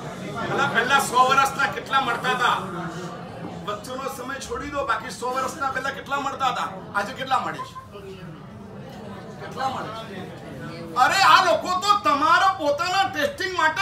તમારા ઉપર છોડે. આ દવા એ કેવી અસર કરે છે? એના કારણે એ લોકો આવા એમને પ્રયોગ માટે સમાજ ઉપર છોડે. કેવી રીતના છોડી શકાય? વિજ્ઞાનની અંદરમાં જાઓ, તમને ખબર પડશે કે આ વૈજ્ઞાનિકો શું કરી રહ્યા છે. સમાજના રહેનારા મનુષ્યોના શરીર ખલાસ કરી નાખ્યા, એના વચનો ખલાસ કરી નાખ્યા, એનું માઇન્ડ ખલાસ કરી નાખ્યું. અને તમારી આસપાસમાં જેટલા પણ મોબાઈલના ટાવરો છે, એ ટાવરોએ તમારું ક્લાઇમેટ પણ ખલાસ કરી નાખ્યું. એક કિરીટભાઈ અમારો ઉપાશ્રય હોય ને, આજુબાજુમાં જેટલા ઘરો હોય ને, બધાના ઘરમાં સાંજના નવ વાગે ત્યારથી બાર વાગ્યા સુધી ટીવી ચાલુ હોય, મોબાઈલો ચાલુ હોય, ગપસપ ચાલુ હોય. આ બધાની અસર ઉપાશ્રયના ક્લાઇમેટને અડે કે ન અડે? અડે? ઉપાશ્રયની બાજુમાં રહેનારો માણસ, ઉપાશ્રયના વાતાવરણને, દેરાશ્રયની બાજુમાં રહેનારો માણસ દેરાશ્રયના વાતાવરણને ક્યાંક તોડે છે ડિસ્ટર્બ કરે છે? આ ડિસ્ટર્બ કરવાનું હથિયાર કોને આપ્યું યાર? કોને આપ્યું? વિજ્ઞાને આપ્યું છે. ઠીક છે, અમારી પાસે પણ આવી ટેકનોલોજી આના કરતા વધારે હતી. જૂનો પણ દવા તરીકે ઉપયોગ થતો તો અમારે ત્યાં. કોનો? જૂ. ક્યાં પડે? માથામાં પડે. હવે તો કોઈ દિવસ હોય જ નહીં, હોય? હોય? નહીં, હવે વાર ખરે એ સમસ્યા છે. હવે જૂ પડે સમસ્યા નથી. હવે કઈ સમસ્યા છે? માર ખડી જાય. શેના કારણે ખરે? બોલો તો. અરે વાહ, તમે લોકો મહાન છો યાર. બધી જ ખબર છે તમને. શેમ્પુ નાખે. એની અંદર જે વપરાય છે બધું શું છે યાર? શું છે? તમારા વાળને પોષક તત્વો છે. જો એડથી ક્યારે પણ ભરમાશો નહીં. એડ કરનારા એક એક માણસો જો સ્કીમમાં રહે છે, એ લોકોને પૂછો તમે આ વાપરો છો તો ના પાડશે ના પાડશે. અમે એડમાં બોલીએ, એના મેં પૈસા લઈએ, ત્રીસ લાખ, પચાસ લાખ મેં એના પૈસા લઈએ. બાકી એ વસ્તુ અમે યુઝ કરીએ એવું ના હોય, કારણ કે નહીં તો એ લોકો બિચારા દસ વર્ષે ખલાસ થઈ જાય.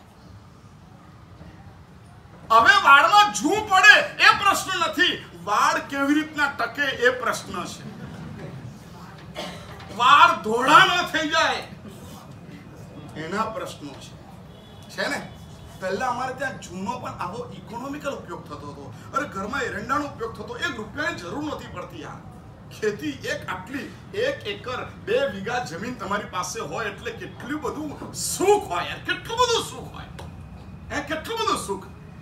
ચોખ્ખું દૂધ, ચોખ્ખું દહીં, ચોખ્ખું ઘી. ગાયને ખાવા માટેનું પણ એમાંથી નીકળી જાય. ઘઉં ચોખ્ખા શાકભાજી ચોખ્ખા તેલ ચોખ્ખું, એરંડા દસ, પંદર, વીસ એરંડા ઉગાડી નાખે, કામ થઈ જાય. સરસો ઉગાડી નાખે, કામ થઈ જાય. તલ ઉગાડી નાખે, કામ થઈ જાય. ચોખ્ખું તલનું તેલ. આજે તમે ચોખ્ખું દૂધ લેવું હોય ને તો પણ તકલીફ પડી જાય. ચોખ્ખું ઘી લેવું હોય તો પણ તકલીફ પડી જાય. એક એપલ કેવું આવે છે ખબર છે? ટેસ્ટ વગરનું અને લાલ ઝબક દેખાય. ઇન્જેક્શનો આપી આપીને એમાં કલર કરી નાખે. તમારા શાક લીલાછમ દેખાય, પરંતુ ટેસ્ટમાં કશું જ ન હોય. કારણ કે કલરના ઇન્જેક્શનો આપીને હાઇબ્રિડ અનાજ ઊભો કરીને આજે અમારા શરીરને તોડી નાખ્યું છે. આ હાઇબ્રિડની શોધ જેને શોધી છે અને સમાજમાં જેને મૂકી છે, એ માણસે અમારા શરીર સાથે ચેડા કર્યા છે એવું લાગે છે તમને? ઓ ભાઈ, હું ક્યારનું બોલ બોલ કરું છું. ખ્યાલ આવે છે તમને? કે ટોપિક ચેન્જ કરું? મને વાર્તાઓ પણ બહુ મસ્ત આવડે છે. મને લગભગ અઢીસો જોક્સ આવડે છે. કેટલા? બોલવા મોડું ફટફટ ફટ ફટ ફટ જોક્સ બોલવા મોડું અરબ બિરબલથી લઈને સરદારજીથી લઈને મુલ્લા નસરુદ્દીન સુધીના. બધા જોક્સ આવડે છે. પરંતુ આજે હું વેદના કહી રહ્યો છું. હું આ પ્રવચનની આ મારી વેદના આપું છું કે સમાજ, એના યુવાનો, એના પણ આજની જનરેશન સહેજ વિચાર કરે પોતાની બુદ્ધિથી કે આખરે અમે જે દિશા તરફ પગ માર્યા છે, એ દિશા આ વાસ્તવમાં શિખર તરફની છે કે ખાઈ તરફની છે એ બહુ વિચારનીય પ્રશ્ન છે. ખ્યાલ આવે છે? અમારી બુદ્ધિ ભ્રષ્ટ થઈ રહી છે. કારણ કે અમે રાત્રે મોડા સૂઈએ છીએ. અને સવારે મોડા ઉઠીએ છીએ અમારે ત્યાં ગીત હતું. રાત્રે વહેલા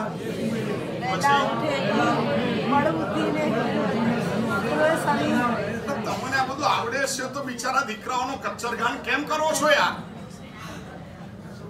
રાત્રે વહેલા જે સુવે વહેલા ઉઠે વીર. ખાલી વહેલા ઉઠે એમાં તમારી તાકાત વધે. વહેલા એટલે બોલો. કેટલા વાગે?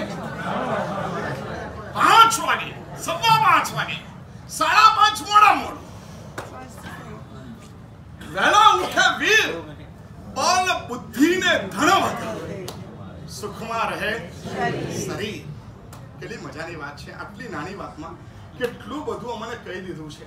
અને છતાં પણ અમે આ વસ્તુ સમજી શકતા નથી. પેલો બાળક પગ હલાવતો હતો ને બાજુમાં કીધું કે તું પગ હલાવે છે તારી માં મરી જશે. બહુ ફરીને આવ્યા નહીં આપણે પાછા બહુ બધું ફરી લીધું. કેટલું બધું જોઈ લીધું કેટલું બધું જાણી લીધું. અમારી વિજ્ઞાનની ટેકનોલોજી ઇકોનોમી સાથે કેવી ફરી રહી છે? અને કેવી રીતના જોડાઈને અમારા સમાજ ઉપર આ વિજ્ઞાને કેટલો મોટો કચ્છર ઘાણ વાળ્યો છે, અમારું આખું બચપન લઈ લેવામાં આવ્યું છે, અમારી યુવા અવસ્થા ખલાસ કરી દેવામાં આવેલી છે. કાં તેજ દેખાયા? નહીં તો વીસ, એકવીસ, બાવીસ વર્ષનો યુવાન ઝાલ્યો ન રહ્યા, ઝાલ્યો ન રહ્યા. ગામડામાં આઠ વર્ષના છોકરાને કહે આ આંબલી ઉપર ચડી જાય ફટ ફટ ફટ ફટ કરતો આંબલી ઉપર ચડી. અને તમારો છોકરો ઘરમાંથી નીચે ઉતરે ને એ હે, નહીં નહીં નહીં નહીં જવાનું નહીં જવાનું નહીં જવાનું. અને જો નીચે બેસીને કદાચ વરસાદના પાણીની અંદર જો ટેરેસ ભૂલથી તમારા ઘરમાં હોય, અને જો વરસાદના પાણીમાં સહેજ ગયો, તો શરદી થઈ જાય. એને ક્યાં લઈ જવાનો. સ્વિમિંગ શીખવાડાય. એ વેકેશનમાં સ્વિમિંગમાં ન લઈ જાય તો ડૂબો કહેવાય. અને વરસાદના પાણીમાં ભીંજાય તો શરદી થઈ જાય. સ્વિમિંગનું પાણી નિર્મલ કે વાદળમાંથી આવતું પાણી નિર્મલ? બોલો. તો કેમ આવું ઊંધું શીર્ષાસન કર્યું છે યાર તમે લોકોએ? હા, જો બહુ સરસ બોલ્યા. પૈસા આપીને જે મળે એ સારું કહેવાય. આ તમારી ટેન્ડન્સી છે. વરસાદ વરસ તો પહેલા પૈસા લેતો નથી. એટલે એની વેલ્યુ નથી.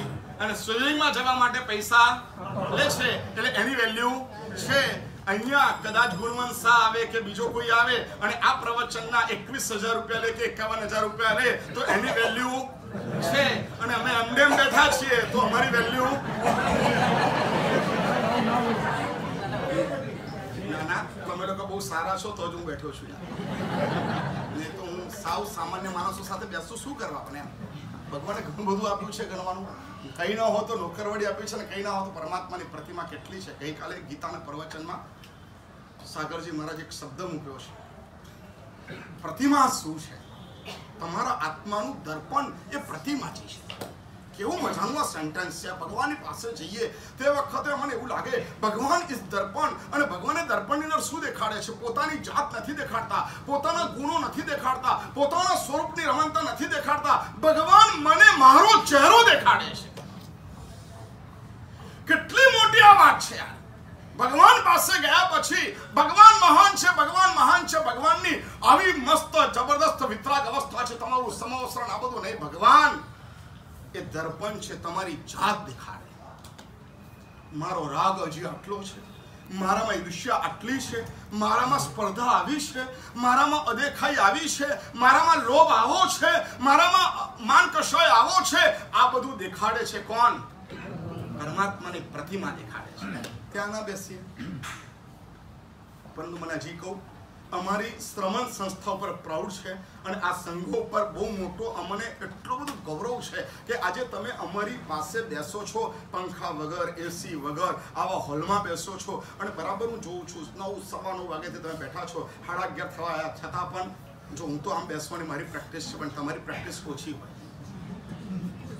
રિયલમાં કહું છું. એટલે વંદન મને કરતા મારે તો મને કરવું જોઈએ પણ જો કે તમને પ્રભાવના મળી જાય છે, જમવાનું મળી જાય છે, એટલે વસૂલ થઈ જાય. બાકી તમે લોકો આ પ્રાઉડ છે અત્યારે મુંબઈની અંદર કેટલી જગ્યાએ સાધુ ભગવંતો હશે ને આવી શિબિરો ચાલતી હશે ને ગુરુ ભગવંતો બબ્બે અઢી અઢી ત્રણ ત્રણ કલાક બોલે અને તે તમે આવી રીતના બેસીનો આ સાંભળો છો ને આ અત્યારની સદીનો પણ પ્રભુના શાસનનો ચમત્કાર છે. ચમત્કાર છે. નહીં તો ન સાંભળી શકે. આવા યુવાનો અહીંયા બેઠેલા છે. અને આ યુવાનો આવી રીતના ક્યારના બેઠા છે? પલાઠી વાળીને પાંચ મિનિટથી વધારે ક્યારે બેઠા નથી? ખુરશી સિવાય હવે બેસવાનું નથી. અને છતાં પલાઠી વાળીને બેઠા છે. પરંતુ આ પલાઠી વાળીને ન બેસી શકાય એવી સિસ્ટમ તમને કોને આપી? પાછું હું ત્યાં જ આવી ગયો. વળી પાછું હું ત્યાં આવ્યો. અરે અમદાવાદમાં હતો. અમદાવાદમાં હતો. અને ઓસ્ટ્રેલિયાથી એક માણસ આવ્યો હતો. એનો દોસ્ત જૈન હતો. એના કારણે આવ્યો. પદ્મનો સૂર્ય મહારાજ સાહેબ પણ ત્યાં હતા. અમે લોકો બંને ભેગા હતા અને તે વખત આવ્યો. દીપક બારડોલી પણ સાથે આવેલો. અને એને કીધું સાહેબ આ ઓસ્ટ્રેલિયન છે પણ લગભગ જૈન જૈનિઝમ બધું જાણે છે એને બહુ રસ છે ઇન્ટરેસ્ટ છે. આ બધી વાતચીત કરી. અને ત્યાર પછી અમે કીધું તો અહીંયા નીચે જ રસોડું છે. જમાડીને પછી મોકલજો. અને એને બહુ ખુશ થઈ ગયો. જૈન ફૂડ બહુ બહુ ખુશ થઈ ગયો. તો મને કહું તમારા ફૂડ ઉપર તમને જેટલું નાચ છે ને એના કરતાં બીજાઓને બહુ વધારે નાચ છે. વધારે નાચ છે. હે? એટલે તમને હું હાવ લાગે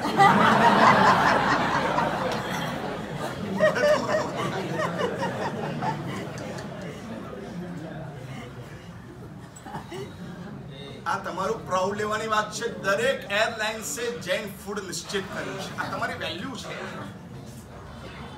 જૈનની નહીં, જૈન ફૂડના વિજ્ઞાનની વેલ્યુ છે. તમારી પાસે જે સંસ્કૃતિમાં મૂલ્યમાં જે ફૂડ આવ્યું છે, એને વૈજ્ઞાનિકતાની આ વેલ્યુ છે. દરેક એરલાઇન્સે ફૂડ જૈન મૂકવામાં આવ્યું કેટલી બધી હોટલોમાં, કેટલી બધી હોટલોમાં તમે ઓસ્ટ્રેલિયા જાઓ, હોંગકોંગ જાઓ, ઇન્ડોનેશિયા જાઓ, મલેશિયા જાઓ, આ દરેક જગ્યાએ અરે દુબઈમાં જાઓ. ચાઇનામાં જાઓ. તમે દરેક જગ્યાએ જૈન ફૂડ સ્પેશિયલ મળે, હો. અરે, એક માણસ મને કે સાહેબ, હું ક્રુઝમાં ગયો અને મેં ત્યાં જૈન ડીશ કીધી ને. અને પેલો છક થઈ ગયો જૈન ડીશ અને પછી અમે જરા ચુસ્ત હતા તો છેક રસોડા સુધી ગયો તો એને ઓર્ડર કર્યા પછી બધા વાસણો ધોવાનું ચાલુ કરું પાંચ વાસણો નવા ધોઈને ધોઈ કરીને ચાલુ એકદમ સ્વચ્છ કર્યા. અને ત્યાર પછી કેટલોસ કાઢ્યો. એમાં જૈનિઝમમાં શું વપરાય એ બધું કાઢ્યું. અને તમને આશ્ચર્ય થશે કે એની અંદર ટામેટા પણ નહોતા. અને ન નાખ્યા ટામેટા અને એ વાસણની અંદર રસોઈ બનાવી અને ત્યાર પછી અમારા માટે મૂક્યો. અને મેં કીધું, કાંઈ વાંધો નહીં, રોટલી અને દાળ બે વસ્તુ મળશે ને તો પણ ચાલશે. રોટલી અને શાક બે વસ્તુ મળશે ને તો પણ ચાલશે. એને કીધું, ના અમે એનો સ્ટડી કરેલો, માણસ રાખેલો છે. અને એને આખું એ લોકો બાવીસ દિવસ સુધી ક્રુઝમાં રહ્યા. ત્યાં સુધી એમને બહુ સરસમાં સરસ સંપૂર્ણ જૈન ફૂડ મળી ગયું. આ કેવી વસ્તુ છે? આ તમારા માટે પ્રાઉડ લેવાની વસ્તુ નથી? છે ને? અને પછી હું તમને બહાર અહીં લારી પર ઉભેલા જોઉં, તારે શું થાય?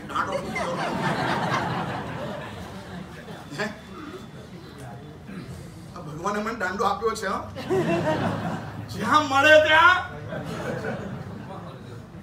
હકીકતમાં કહું છું, આગળ આવો રિવર્સ થાવ તમને જેટલી સમજ ન પડે ત્યાં આવી જાઓ. તમારે સમજ ન પડે મને પૂછો. હું તમને કહીશ, એક જ વિજ્ઞાન કહીશ. ખોજ માટે નીકળ્યા છે? અમારે અમારા મૂલ્યોની ખોજ કરવી છે. અમે અમારા ખોવાઈ ગયેલા અસ્તિત્વની ખોજ કરવી છે. અમારા વિજ્ઞાનની ખોજ કરવી છે. અમે જે રસ્તે ગાણા થઈને નીકળી ગયા છે, એમાંથી અમારે પાછા કેવી રીતના થવું? અમારે અમારા અસ્તિત્વની સાથે કેવી રીતના જોડાવું? અમારે અમારી કુદરતની સાથે કેવી રીતના જોડાવું? એની આ એક શિબિર છે. મનોમંથન છે. એક ઘોડો બીમાર પડીને સૂઈ ગયેલો હતો ને તે વખત વેદ આવ્યો. કશું જ નહીં કરતો, કોઈ બાઈ શોધી લાવો કે જેના માથામાં જૂ પડેલી હોય અને સાત જૂ લાવી. સાત જૂ મંગાવી.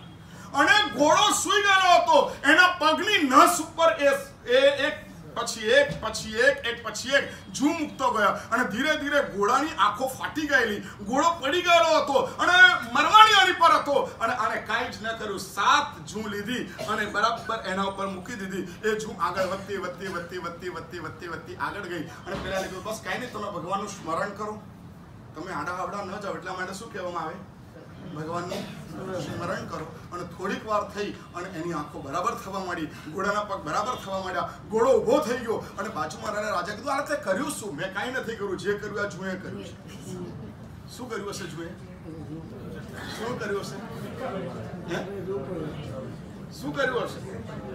કેટલું મોટું વિજ્ઞાન છે. જૂ જેવી જૂને પણ આરોગ્ય દેનારું એક ઇન્સ્ટ્રુમેન્ટ કરી નાખ્યું એને. એ જૂ આગળ વધી અને આગળ વધ્યા પછી જ્યાં નસનો જથ્થો હતો, ગાંઠ હતી, ત્યાં જૂ જઈને ઊભી રહી ગઈ. અને એ જુએ ત્યાંનું લોહી ચૂસી લીધું. ખરાબ લોહી ચૂસી લીધું એટલે લોહીનું સર્ક્યુલેશન થઈ ગયું. બાયપાસ થઈ ગઈ. વગર રૂપિયાની એન્જિયોપ્લાસ્ટી થઈ ગઈ. સ્ટેન્ડ મુકાઈ ગયું. બાયપાસ થઈ ગઈ. અને ઘોડો ઊભો થઈ ગયો. અને ત્યાર પછી જૂ લઈ લીધી. આપણે ત્યાં આપણને એવું ખબર? જૂ ખાનું હતું. જૈનના ઘરોમાં જૂ ખાનું હોય. જીવાત ખાનું હોય અને જૂ ખાનું હોય. જૂ કાઢે ને, પછી શું કરે? થોડાક વાળ પણ કાઢે. અને એ ડબ્બીની અંદર વાળ પણ મૂકી દે અને એમાં જૂ પણ મૂકી દે. જ્યાં સુધી એનું આયુષ્ય હોય, ત્યાં સુધી જૂ પણ જીવતી રહેવી જોઈએ. અને પાટણ, રાધનપુર, આ બધી જગ્યાએ તો શું હતું ખબર? મહેસાણા, લીચ વગેરે ગામોની અંદર શું હતું ખબર છે તમને?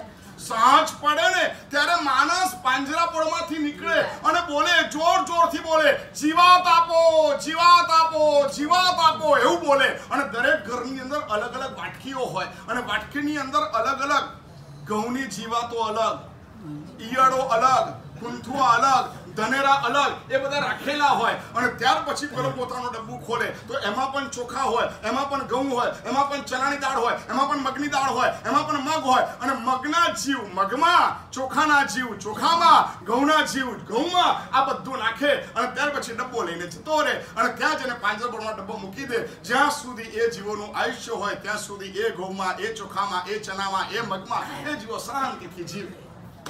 શું સમજો છો તમે આને? જીવાતોની હોસ્પિટલ ખોલનાર આપણે માણસો છીએ દોસ્ત. આ ભગવાને શીખવાડ્યું છે. કોઈ દિવસ ઈયળની હોસ્પિટલ જોઈ છે? કૂતરાની હોસ્પિટલ હશે? ગાયોની હોસ્પિટલ હશે? ભેંસોની હોસ્પિટલ હશે? મનુષ્યોની હોસ્પિટલ હશે? પરંતુ ધુનેરાની હોસ્પિટલ? ઈયળની હોસ્પિટલ? શાકભાજીમાંથી નીકળેલી ઈયળો કાઢે અને એ ઈયળોને શાકભાજીની અંદર જ મૂકે. આ કઈ સંસ્કૃતિ હતી? કઈ સંસ્કૃતિ હતી? અને ભારતીયની જૈન સંસ્કૃતિ હતી. આ કઈ સંસ્કૃતિ હતી? અરે જૈન સંસ્કૃતિ હતી. પ્રાઉડ કરો. તમે સાવ ખલાસ ન થઈ જાઓ. તમે 45 લાખ નથી. ગવર્મેન્ટ તમને કે એમ ભ્રમિત ન થઈ જાઓ. તમે બહુ જ ઊંચા માણસો છો. દસ લાખ બીજાના વોટ બરાબર એક જૈનનો વોટ હોવો જોઈએ. આ એની વેલ્યુ છે. સમજ્યા તમે? આ તમારી વેલ્યુ છે, પણ ખબર નહીં તમે એવા નિર્માલ્ય બની ગયા છો. મારું ચાલે તો સ્કૂલ ખોલું અને દરરોજ તમે એવા પાઠ ભણાવો, એવા પાઠ ભણાવો, બહાર નીકળો તો છાતી ખોલીને નીકળો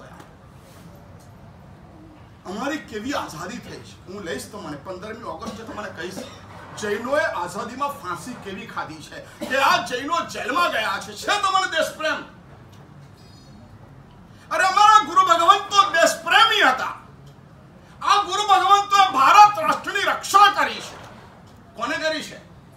ગુરુઓએ કરી છે. ધર્માચાર્યોએ કરી છે. કુમારપાળ રાજા બનવો જોઈએ અને ઉદયનમંત્રી રાજા ન બનવો જોઈએ. ગુજરાતનો નાથ ઉદયનમંત્રી ન હોય, ગુજરાતનો મંત્રી ચાવડા ન હોય, ગુજરાતનો મંત્રી ચહાડ ન હોય, ગુજરાતનો મંત્રી કુમારપાલ હોય. એની પાછળ કમર કસી છે હેમચંદ્રાચાર્ય ભગવંતે. ક્યાં ઇતિહાસ વાંચો? થોડા નોલેજમાં ઉબર ખાબર ઉબર ખાબર ઉછળો છો યાર. થોડું જ્ઞાન પચાવી શકતા નથી. આમ થાય, આમ ન થાય, મારા સત્ય આમ થાય, ન થાય, આ પ્રશ્નોથી આમ થાય, ન થાય. ભાઈ તારાથી શું થાય? બોલ દોસ્ત. તારાથી શું થાય તો બોલ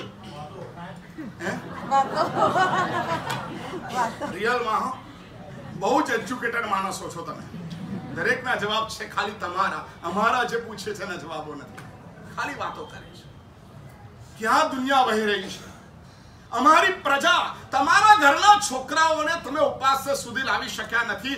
અમે છોકરાઓ સુધી પહોંચવાનો પ્રયત્ન કરીએ તો એ અમારી શૈલીને પણ બચાવી શકાય એટલી નાનકડી બુદ્ધિ પણ તમારી પાસે નથી.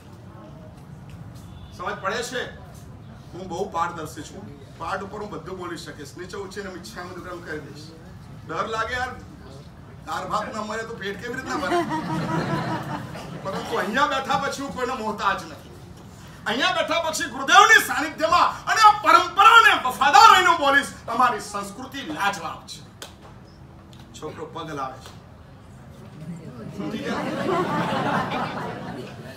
હલાયા કરશે, સર્વમંગલ સુધી. અહીંયા ઘણા બેઠેલા હોય આવી ટેવ હોય. આમ આમ કરે કર્યા જ કરે, આમ આમ કર્યા જ કરે. કરે ને? હે? શું કહો છો? બહુ મજાની સંસ્કૃતિ છે આ. મારી પાસે નહીં નહીંને આવું વિચારીને આવું વિચારીને પોઈન્ટ્સ કરેલા પાંચસો થી વધારે પોઈન્ટ્સ છે. કેટલા? પાઘડી કેમ બાંધવાની? ઘરેણા કેમ પહેરવાના? સ્ત્રી આ જગ્યાએ આટલા ઘરેણા કેમ પહેરે? શા માટે સોનાના ઘરેણા પહેરવાના? શા માટે ચાંદીના ઘરેણા પહેરવાના? લોખંડ પહેરવું હોય તો ક્યાં પહેરવાનું? આની બધી સિસ્ટમો છે. પૂજાની આંગળીએ વીટી જોઈએ જોઈએ. શા માટે જોઈએ ભાઈ? ભગવાન જોઈએ કે હા હું સંપન્ન છું. હે. મને પૂજા કરનારો મુફલિસ નથી એવું ભગવાન જાણે એટલા માટે. બોલો તો. અને તો પૂછતા નથી યાર તકલીફ તો અહીંયા છે. તમારી સામે હું કર્મકાંડ આખો બોલી જાઉં તો જી જી જી કરીને હવા દસ થાય ઊભો થઈને ભાગે. એટલે આ પણ તને સમજ તો કઈ પડી જ નહીં. તો પણ બોલો ને તો પણ જી. સમજ પડે તો પણ જી હમણ ન પડે તો પણ સારું થાય તો પણ ખરાબ થાય તોય. અમને સામે વાસનો ટાઈમ બરાબર યાદ રહે. હકીકતમાં કહું છું દોસ્તો પુણ્યવાનો ભવ્ય છો તમે બહુ નસીબદાર છો કે આવું સાંભળવા તમને મળે છે. રિયલમાં કહું છું અમે લોકો બહુ મહેનત કરીએ છીએ. આ વિજ્ઞાનના અમે પણ ક્યારેક પેપર વાંચીએ છીએ અને પેપરના માધ્યમે અમે એમાંથી તારવીએ છીએ કે શું ચાલી રહ્યું છે. વિજ્ઞાને આવી શોધ કરી અને શું આપ્યું આજે તમને? શું આપ્યું સારા ઘરના પાંચ માણસો હોય, છતાં પણ પાંચ માણસો એકબીજાને બોલતા ન હોય અને માત્ર મોબાઈલની અંદર ગેમ રમ્યા કરે રાતના ત્રણ ત્રણ વાગ્યા સુધી ઓનલાઈન હોય અને પૂછો, ભાઈ, કાલે હું હતું? ઓનલાઈન શું હતો? મને એવું પૂછે, મને તમને કેવી રીતના ખબર? પૂછો, મને પૂછે. વાત તો બરાબર જ છે. મેં કીધું, ભાઈ, તારા મમ્મી પપ્પા પેપર ફોડી ગયા. ત્રણ વાગે એને કેવું પડેલા ઊંઘી જા ઊંઘી જા ઊંઘી જા. સાહેબ, ગેમ રમતો. શું કે? ગેમ રમતો. એક પતંગ ચડાવતા નથી આવડતી. એક ગિલ્લી ડંડા રમતા નથી આવડતું. ચાર ફૂટ રહેલી લખોટીને તાકતા નથી આવડતું. આવડે છે? આવડે છે? રમેશ કાલે બોલો. આ તો પોરાઈ જાઓ. આઈ એમ ચેમ્પિયન લાવો લખોટી. કેવી લીધું છું? વીસ પચીસ ફૂટ દૂર સુધી મેં ફેલક કરતી વિધિ નાખું. એ બેઠા હું લાગતું નથી હું કેટલાને વિધિ રહ્યો છું અત્યારે. તે રહ્યો છું દોસ્ત. અમને શીખવાડ્યું ગુરુમાં જે તીર કામથા લઈને બેસું. અમને અહીંયા ખબર પડી જાય, આમાં કયો માણસ કેવી રીતના સાંભળે છે ને? મને બોલો, તમે પૂછો, તો હું જવાબ દઉં. આ માણસ આવી રીતના સાંભળ્યું છે, આ માણસ આવી રીતના સાંભળ્યું છે, આ માણસ આવી રીતના સાંભળ્યું છે. આને જોકું ખાધું છે અને આને હાથ જોડ્યા છે. આની આંખમાંથી પાણી આવ્યું છે અને આ માણસ તરવડાટ થઈ ગયો છે. હું બધાના જવાબ આપી દઉં તમને. ગુરુઓની કૃપા છે. ચાર દિવાલ વચ્ચે રહીને પણ સાધુઓ તૈયાર થયા છે. અમારા સાધુનું અત્યારે જે અધ્યયન ચાલે છે ગુરુ મહારાજને મિશ્રામાં આ વખત ચાતુર્માસ કરીને અમને બીજું કંઈ મળે કે ન મળે, પરંતુ આ સાનિધ્યનો જે પ્રભાવ છે ને અદ્ભુત મળી રહ્યો છે. સમાચારી પ્રત્યેનું જે જાગરણ મળી રહ્યું છે ને અદ્ભુત મળી રહ્યું છે. ડાળો પૂછ્યો વગર મૂક્યો, શબ્દ આવ્યો, ખલાસ. બીજા દિવસથી સુધરી જાય. પલ્લેનું ભડક પગે કરવાનું. પલ્લેન કપડું આવી રીતના પલ્લેન કરવાનું. પાત્રનું પલ્લેન આવી રીતના કરવાનું. આ મને ક્યાંય શાસ્ત્રમાં વાંચીએ તોય ના મળે. આ તો સાનિધ્યનો જ પ્રભાવ હોય તો આવી રીતના મળે. ખેસ આ ખભો ખુલ્લો રાખીને કેમ ઓળવાનું? હે? ખેસ આમ જ કેમ ઓળવાનું? સાધુઓ બધા જ આવી જ રીતના કપડા ઓળે. કોઈ ફેશનમાં ચેન્જ નહીં, પચીસો વર્ષથી હે? કોઈ ચેન્જ નહીં ફેશન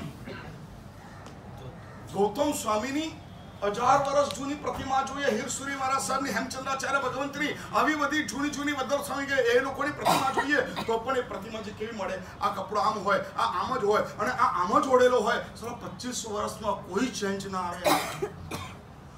શાસ્ત્રોના કારણે. શાસ્ત્રોના કારણે. કોના કારણે? હે? અરે યાર આ ગુરુજનોના સહવાસના કારણે. ગુરુકુળવાસના કારણે.